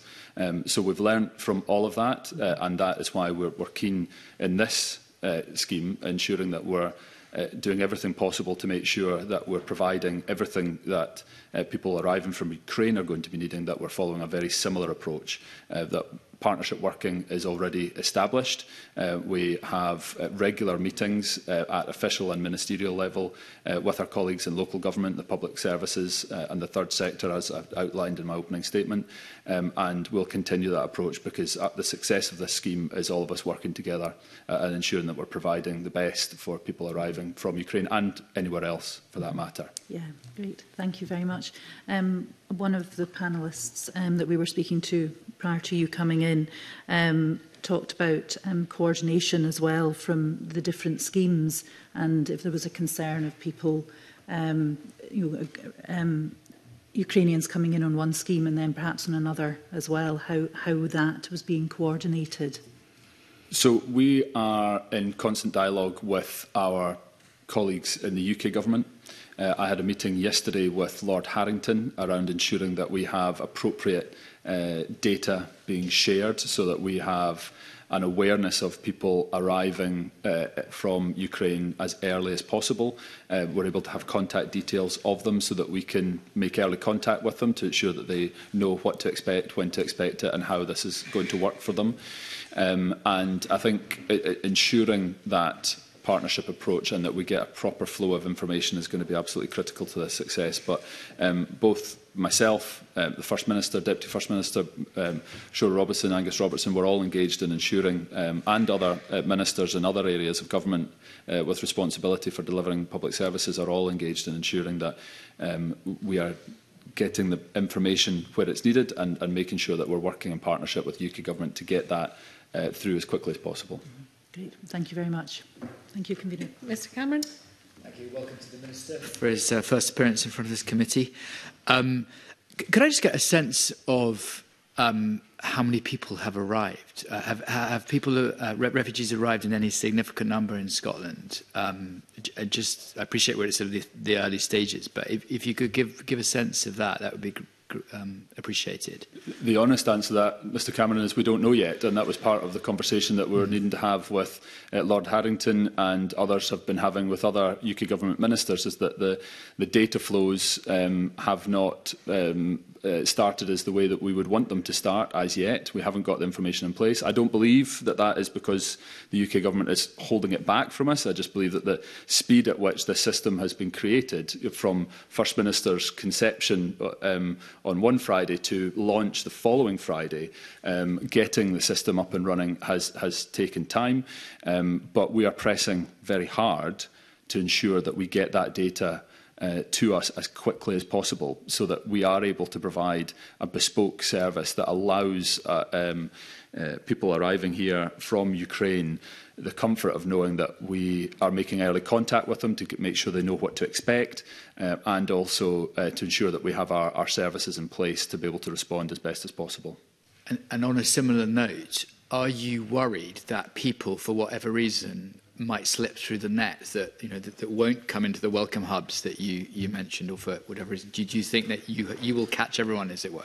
Uh, yes we, we, we've put what the first priority was to ensure and I'd be happy to take um, Alison Byrne in here to, to maybe explain in more detail but um, we have put very clear systems in place um, at all the major hubs um, that we're expecting people to come through, um, Edinburgh and Glasgow airports and Cairnryan, as you'd expect, uh, to ensure that there is a management process in place to make sure that we're identifying people arriving from Ukraine, to ensure that they are pointed in the right direction, the welcome hubs are, are, are in place and ready, Um, and the majority of the people that have been arriving so far have been arriving with onward addresses already, so haven't been arriving through um, the super sponsor route as far as, as we're aware, but the data, as I say, needs to flow. Uh, Alison, I don't know if you've got anything further to add to what I've been able to outline there. I think that um, that's absolutely right, Minister. Um, there's a multi-agency approach on the ground, so we've made sure that at all points of major points of entry into Scotland, so Glasgow Edinburgh Airport, um, the main train stations and Cairnryan, that there are welcome hub arrangements in place, um, working with the police, Transport Scotland and our local authority partners. Um, people coming in who require assistance will be identified and will be moved through into welcome hub arrangements and there's transport 24 hour transport available to move people onto the welcome hubs and there's accommodation there if people need it as well as immediate support around triage in relation to their needs and aid, food, clothing and other support. Uh, and finally, what, in the panel that we've just had, there was some discussion about um, people who come in via the super sponsor scheme and people who may just um, come in through the through, through people signing up for the Homes for Ukraine UK wide. How are you managing that that particular um, issue? Again, we're, we're keen that we get the data as quickly as possible on the super sponsor scheme. I note um, the panel earlier on were very complimentary of the fact that we'd managed to establish the super sponsor scheme and, and understood that to be, um, as we'd intended, to be a, a, a, a humane, a, a swifter approach to ensure that we get people here as quickly as possible. Um, but for that to work, obviously, we're still reliant on the UK immigration system working as quickly as possible to approve the, uh, the initial visa application to get here, which is why obviously we wanted uh, visas to be waived initially. That would have been our preferred approach. Um, but um, you know, we're pleased that we've managed to get the super sponsor route in place uh, and now making sure that uh, we have a, a coordinated response is absolutely what we're gearing up towards. But crucial to that is going to be having the data and having a, a very clear and live data flow to ensure that we're aware of how people are applying uh, and when applications are approved so that we can then tailor our response accordingly. Thank you. Mr Gold. Thank you, Convener. Um, you mentioned the funding that has been allocated to the Scottish Refugee Council and others. Mm -hmm. Are they in receipt of that currently, or what's the timescales for, for that? being processed. Again, I'm I'm happy to bring Alison Byrne in here to confirm, but my understanding is that uh, all organisations that the local government funding is um, still to be dispersed, um, still to be allocated on uh, uh, on a system to be agreed with COSLA. Um, but my understanding is that other funding streams have been allocated. Alison, I don't know if you've got any further information on that in terms of the Refugee Council in particular. Um, so uh, money has been made available for this financial year, and as you say, Minister, we're currently working with COSLA to agree the local um, authority settlement, and the grant offer has been made to Scottish Refugee Council to help them build their capacity. Thanks. And I was also wondering, obviously there's the physical support required for refugees, accommodation, but there's likely to be an ongoing emotional support and mental health support required in an already stretched service. I just wondered what conversations you've had to ensure that refugees can access this care. Uh, uh, Mr Golden should be confident in the fact that we've had those conversations from a very early stage. We've been working with our partners in all aspects of public service to ensure, uh, in terms of accommodation needs, where you know, clearly there will be pressures as well, also in terms of um, the more practical uh, healthcare uh, and mental health support and the, the trauma response that Mr Golden that alludes to. Um, we have been in, in dialogue with our partners in uh, local government and the health service and, and third sector to ensure that we are able to respond effectively uh, and as quickly as possible. And that starts from arrival. Um, the discussions that we'll have from a triage perspective will be looking at the immediate needs um, as the first discussion and then looking at, to a more in-depth discussion around their longer term needs as well. Uh, but we're very alive to that and very keen to make sure that we are providing appropriate support as quickly as possible. Thank you, Minister. Back to you, Convener. Mr Ruskell. Yeah, thanks very much, Convener. Um, I'm sure you caught, Minister, some of the, the evidence earlier on today. Um, and I think there was there was some particularly moving evidence around the plight of seasonal workers, yeah. Ukrainian seasonal workers um, in, in Scotland. And I think we heard some you know, specific examples of how, how people are trapped. Um, you know, they're trapped in the employment contracts yeah. that they're in uh, they're not able to bring their families uh, over here. And even if they did, they're tied to certain forms of accommodation which are completely unsuitable as well. Yeah. Um, I, I take it you, you acknowledge that, and I, and I suppose the question that follows on from that is, is what, what can change? What, what pressure can you put on the UK government? Do you support, for example, uh, the ability of those seasonal workers to move instantly from the temporary visas that they're on uh, uh, to the Ukraine Family Scheme. Uh, and alongside that, are there, are there other forms of support that can, that can be brought in uh, to support those workers and their uh, families? Thank you, Convener. I thank Mr Ruskell for that question. Yes, I'm, I'm very alive to that situation. Um, discussions have been ongoing uh, with the UK Government around um, the seasonal workers that are here from Ukraine. Uh, very conscious of the fact that their, their status here is precarious. Um, it's linked to employment, as you've said, but also that is seasonal by its very nature, so therefore temporary, um, but also the fact that uh, their ability to bring people, uh, family members here, is limited. The super sponsor scheme may well be helpful in terms of being able to bring people here, but their immediate accommodation situation uh, may not always be suitable for that to be possible. So uh, we would absolutely, and we are continuing to urge the UK government to uh, ensure that there is parity uh, uh, between people who are already here from Ukraine under that uh, under a seasonal mm-hmm. scheme with those who are arriving uh, via the current resettlement programmes and give them the, the security and certainty of the three-year position that others are arriving with. Uh, uh, and also we'll be looking to make sure that we continue to work with our partners to uh, provide whatever support we can to those that are already here um, alongside those that are arriving uh, and soon to arrive potential family members, for mm-hmm. instance.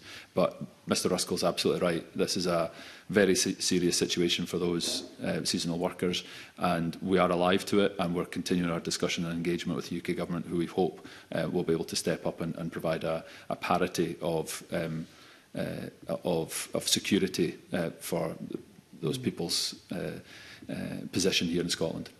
That's very welcome. Um, has there been a, a conversation then also with the farming sector? Yes. You're obviously in a difficult position. If you're an employer, you have large numbers of seasonal workers, it's part of your business, but then there's this massive humanitarian need at the moment as well to support those families. So what, what, what can be done there to uh, to help the farming sector, but also to help these families.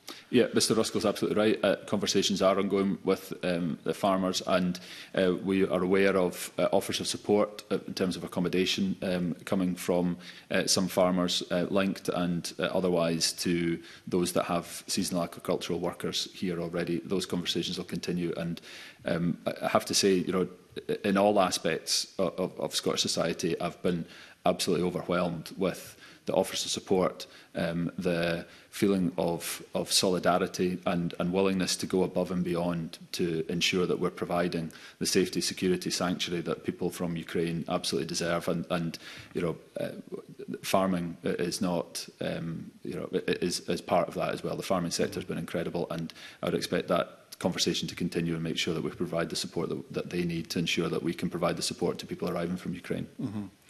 And then um, finally, I wanted to ask about um, free public transport. Uh, I know Mr. Sweeney's here and has um, been very vocal on this issue as well, so I'm sure he'll have questions too. But I had a, a specific question about uh, the introduction of free public transport for those seeking asylum, those those of refugee status as well. Um, I think it's really important that this is not restricted just to, to Ukrainian people, but from people from mm. across the, the world. So a confirmation that, that, that you're considering that would be, would be very useful about the eligibility of, of free travel. Um, and then also there is a concern that the Home Office, and I, I hope this is unjustified, but there's a concern that the Home Office may attempt to try and claw back money from those that are getting those types of um, universal free benefits. So if you could if you could confirm whether that is a, justif a justified concern or, or, not, hopefully it's not.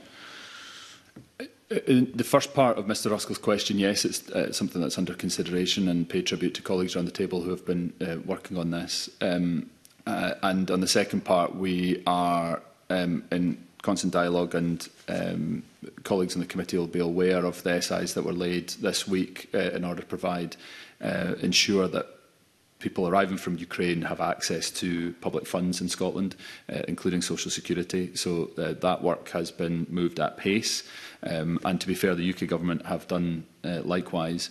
Um, so I'm, I'm hopeful um, that from a financial perspective, people will be, have access to the support that they're going to need. And, and on the public transport side, we're, we're considering all those options. Mm -hmm. Okay, thanks. Thank you. Um, just Before moving on, uh, Minister, you mentioned again about the, the, the seasonal workers. One of the concerns from the earlier panel was that the, um, they don't know who the seasonal workers are. So in a situation where mm. the hmm. third sector is having to, to step in and support someone who's in financial need or has, has you know, not been able to maintain an employment and accommodation status, um, they, they don't know who these people are. Is that something you have discussed with the UK government as well about access to that data? And if the Scottish government gets it and you know the numbers, are you able to share some of that information with the third sector organisation? organisations that we fund to support people? Absolutely, Convener. Yep. Those, those conversations are ongoing in all, all aspects. Oh, thank you very much. Um, uh, if I could move to Mr Sweeney, please. Uh, thank you, thank you, convener. Um, I'd just like to say um, I really appreciate the, the sort of tone, in particular on the, the bus pass thing. I think there's a real spirit of collaboration. Certainly, conversations that have been had by colleagues with ministers have been very positive. Um, Uh, the modelling that has been produced has shown that it can be very cost effective, um, which has been shared with the Transport Minister as well as the Cabinet Secretary for Social Justice. Um, I know you say that we're hopeful of progress. Do you think there could potentially be a greater pace injected into this? Perhaps that would be a, a way for maybe some leadership, you know, um, from yourself and, and others, just to try and pull together a cross-party group to try and pull this together and, and drive it forward. So there's, there's time constraints around people's welfare.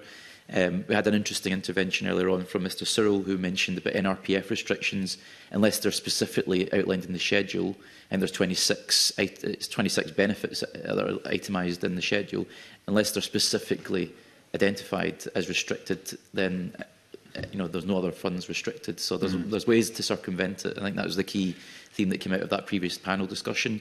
The NRPF is actually we can be creative with.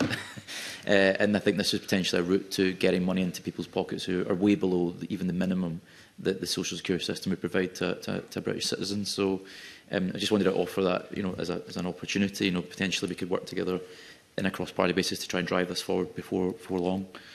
Uh, I very much uh, appreciate uh, Mr Sweeney's um, anxiety around moving at pace uh, in, in all these uh, matters and uh, he can rest assured over the last um, number of weeks uh, that I've had the additional responsibility um, for refugees arriving from Ukraine that the pace has been relentless um, as we tried to make sure that, first of all, we get the super sponsor scheme uh, in place and then that we make sure that we have the support services in place around it. Uh, I'm going to bring John Primrose in around the public transport elements in particular, but, and he can hopefully illuminate further.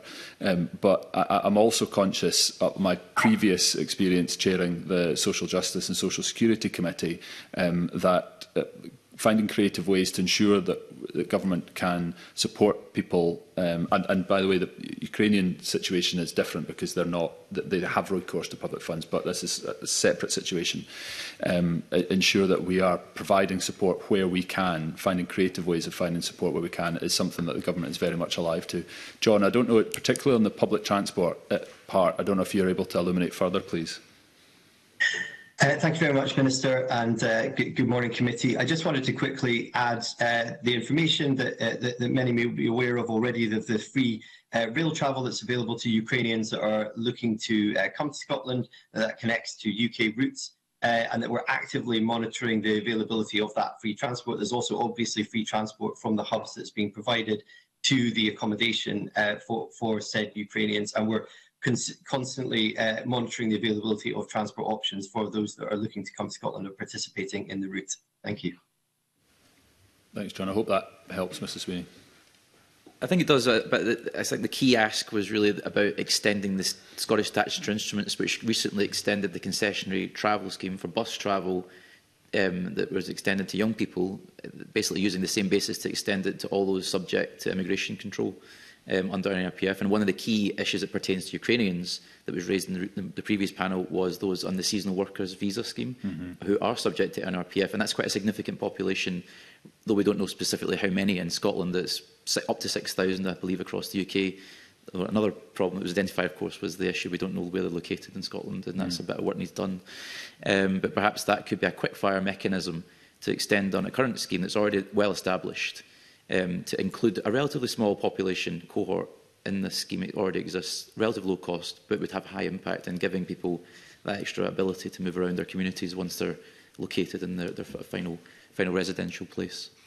Uh, thank you, Convener. I, uh, I'm aware of the, the, the meetings and correspondence that there has been and the, uh, between Mr Sweeney and uh, my colleagues, um, uh, Jenny Gilruth and Shura Robeson, on, on these matters. I know that it's something that's under active consideration, and uh, I'm, I'm hopeful that we might be able to uh, move forward on that. But that those considerations are ongoing, um, and like I say, hopefully you know, we can, uh, understanding the anxiety that Mr Sweeney has, that we can uh, have something in place um, as soon as possible. Thanks very much. Shea. Mr Ruskell? briefly, I mean, I'm, I'm assuming that there has been discussion with the Welsh Government about their free public transport pilot in this, in this area. Uh, it's not something that's come across my desk as yet, but um, um, mm. you know those uh, looking to ensure that we are aware of uh, good practice that go on else, that goes on elsewhere. Obviously, we're, we're constantly looking at, at what happened, what's happening elsewhere, uh, and also reflecting on the good work that is already being done uh, by the Scottish government in, in these areas and expanding the, the, the fee public transport availability in Scotland is obviously something that the Scottish Government has been investing in substantially of late. Um, but uh, yeah, we'll, we'll obviously look at what is being done elsewhere, see if that's something that can be uh, replicated, um, but also conscious of the fact that there's a significant amount of work already ongoing in Scotland on that, on that front. Okay, thanks.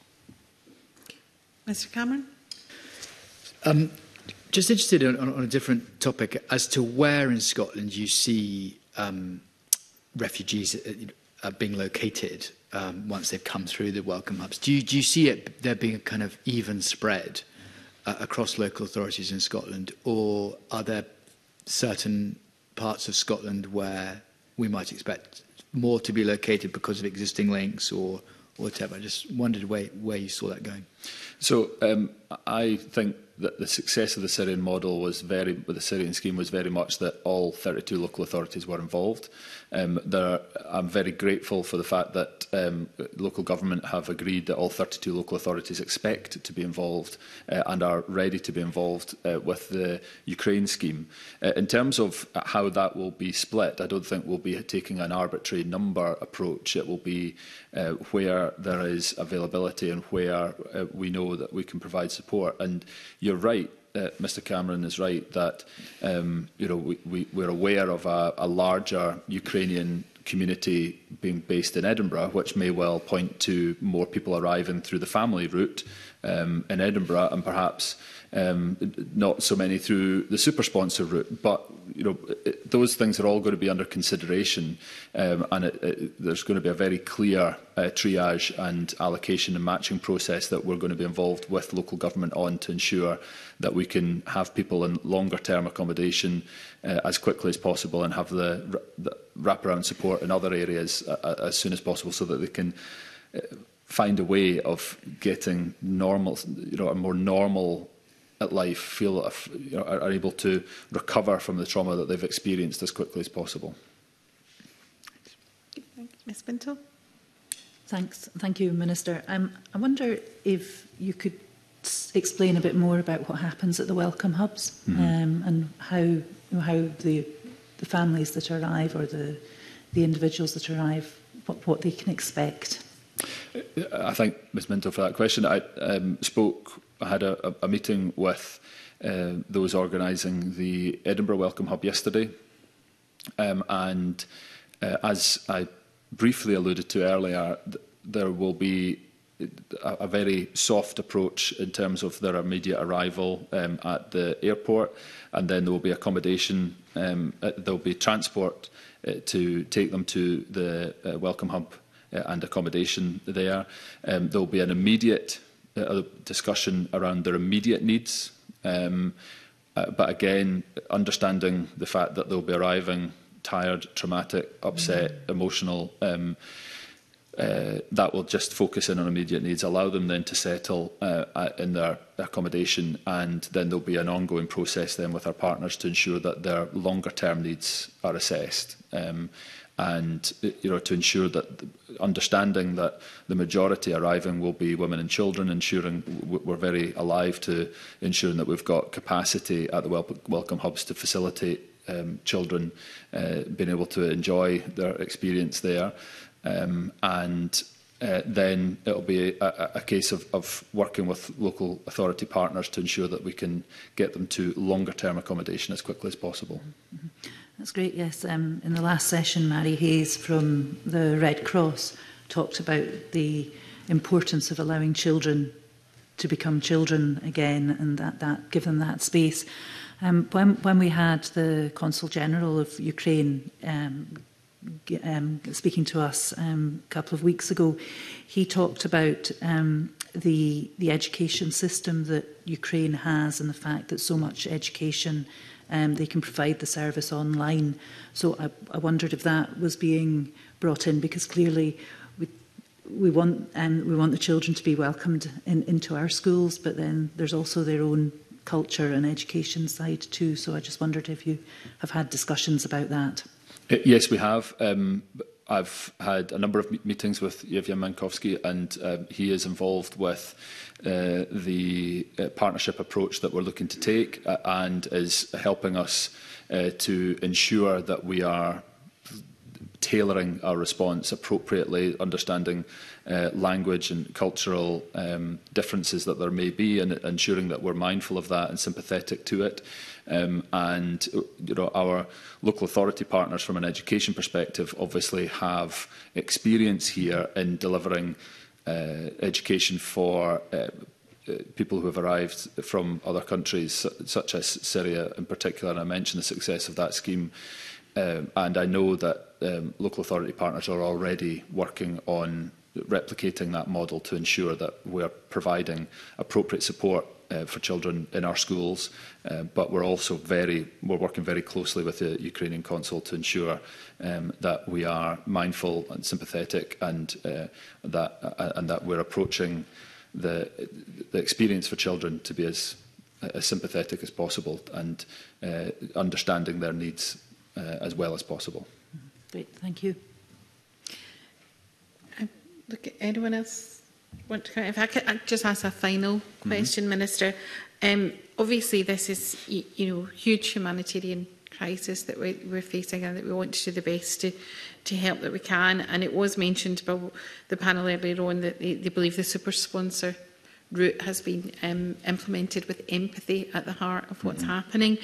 Um, I just, just want to ask how, because so much of this will involve co cooperation with the Westminster Government and ministers there, about that relationship going forward because obviously in the past there have been quite significant differences in attitude towards it and you know this parliament hasn't um, given legislative consent to the Nationality and Borders Bill in itself. Um, and one of the things that was mentioned was the, the withdrawal from the 1951 Refugee Convention. Um, so I just want to understand how well and how willing you feel that Westminster is able to do this, having also been a, a convener of the Social Security. I know that data, even data sharing can be a, yeah. a contentious issue. So just a feeling of, of, of how that relationship is and if you feel that they're, they're, eh, they are cooperating fully with you as fully as they can. And it, it would, if this was the only thing we were facing, then that would be um, e-, enough in itself. But we know there are humanitarian issues across the world, and we're still got people seeking asylum and refugee status here. Yeah. How, how can we ensure, and I appreciate that you're here as the Minister for Ukrainian Refugees, but how can we ensure that, that the, you know, the, the, the needs of other people coming to the country are met in the same way and, and with the same dignity and respect towards them? Thank you, Convener. There's two very important issues there. Um, firstly, uh, Mr Cameron will remember well that I was the Minister that moved the uh, motion to withhold legislative consent for the Nationality and Borders Bill, and it's been a very consensual uh, meeting thus far, so I, I don't want to break that, but I think my comments on that are, are clearly on the record, and I think we can see, uh, given this situation, that the fact that uh, that particular piece of legislation was short-sighted uh, and has been shown to be so.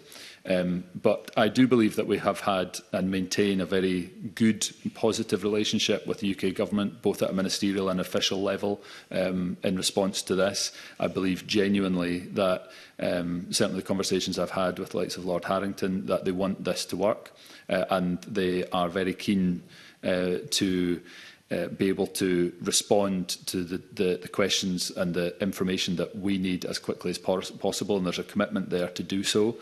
Um, uh, so I, I'm, I've been pleased at that, and I think that is also replicated at an official level as well, that, that there is a good working relationship there, which, as you say, has, has not always been the case, but I'm pleased that it is the case here.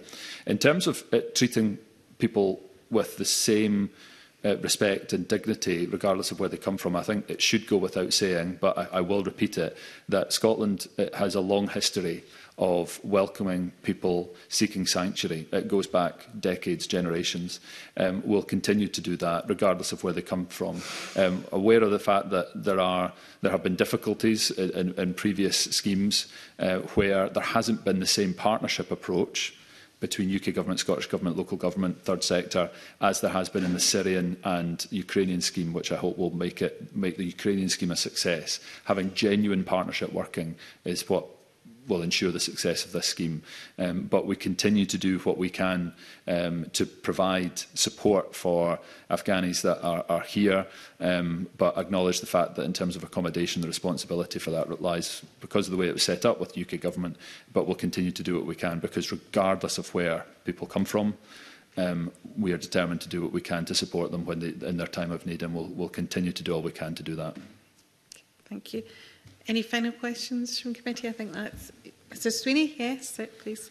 I was just wanting to ask one about the issue of equality between people with refugee status and asylum seekers and whether that's been taken into consideration in any provisions that will be brought forward to support uh, you know, people coming from Ukraine. Obviously, there's a wider issue of um, a crisis, a humanitarian crisis in our midst with the current asylum system, obviously the tragedy of the Park Inn mm -hmm. uh, eh, disaster in, in Glasgow. Um, with hotel accommodation, etc. And there is that kind of hierarchy of, of people in the asylum system subject to different restrictions. So I did wonder whether that is, a, maybe Alison can maybe answer that about what considerations have been taken about ensuring there is parity across as much as can be achieved under NRPF. yeah, I, I'm happy to take Alison or John in at, at this stage. I think it probably, I, I don't know um, who would feel uh, best placed to respond, but yes, um, I think this current situation um, has shown uh, how uh, uh, in, ensuring that you are providing a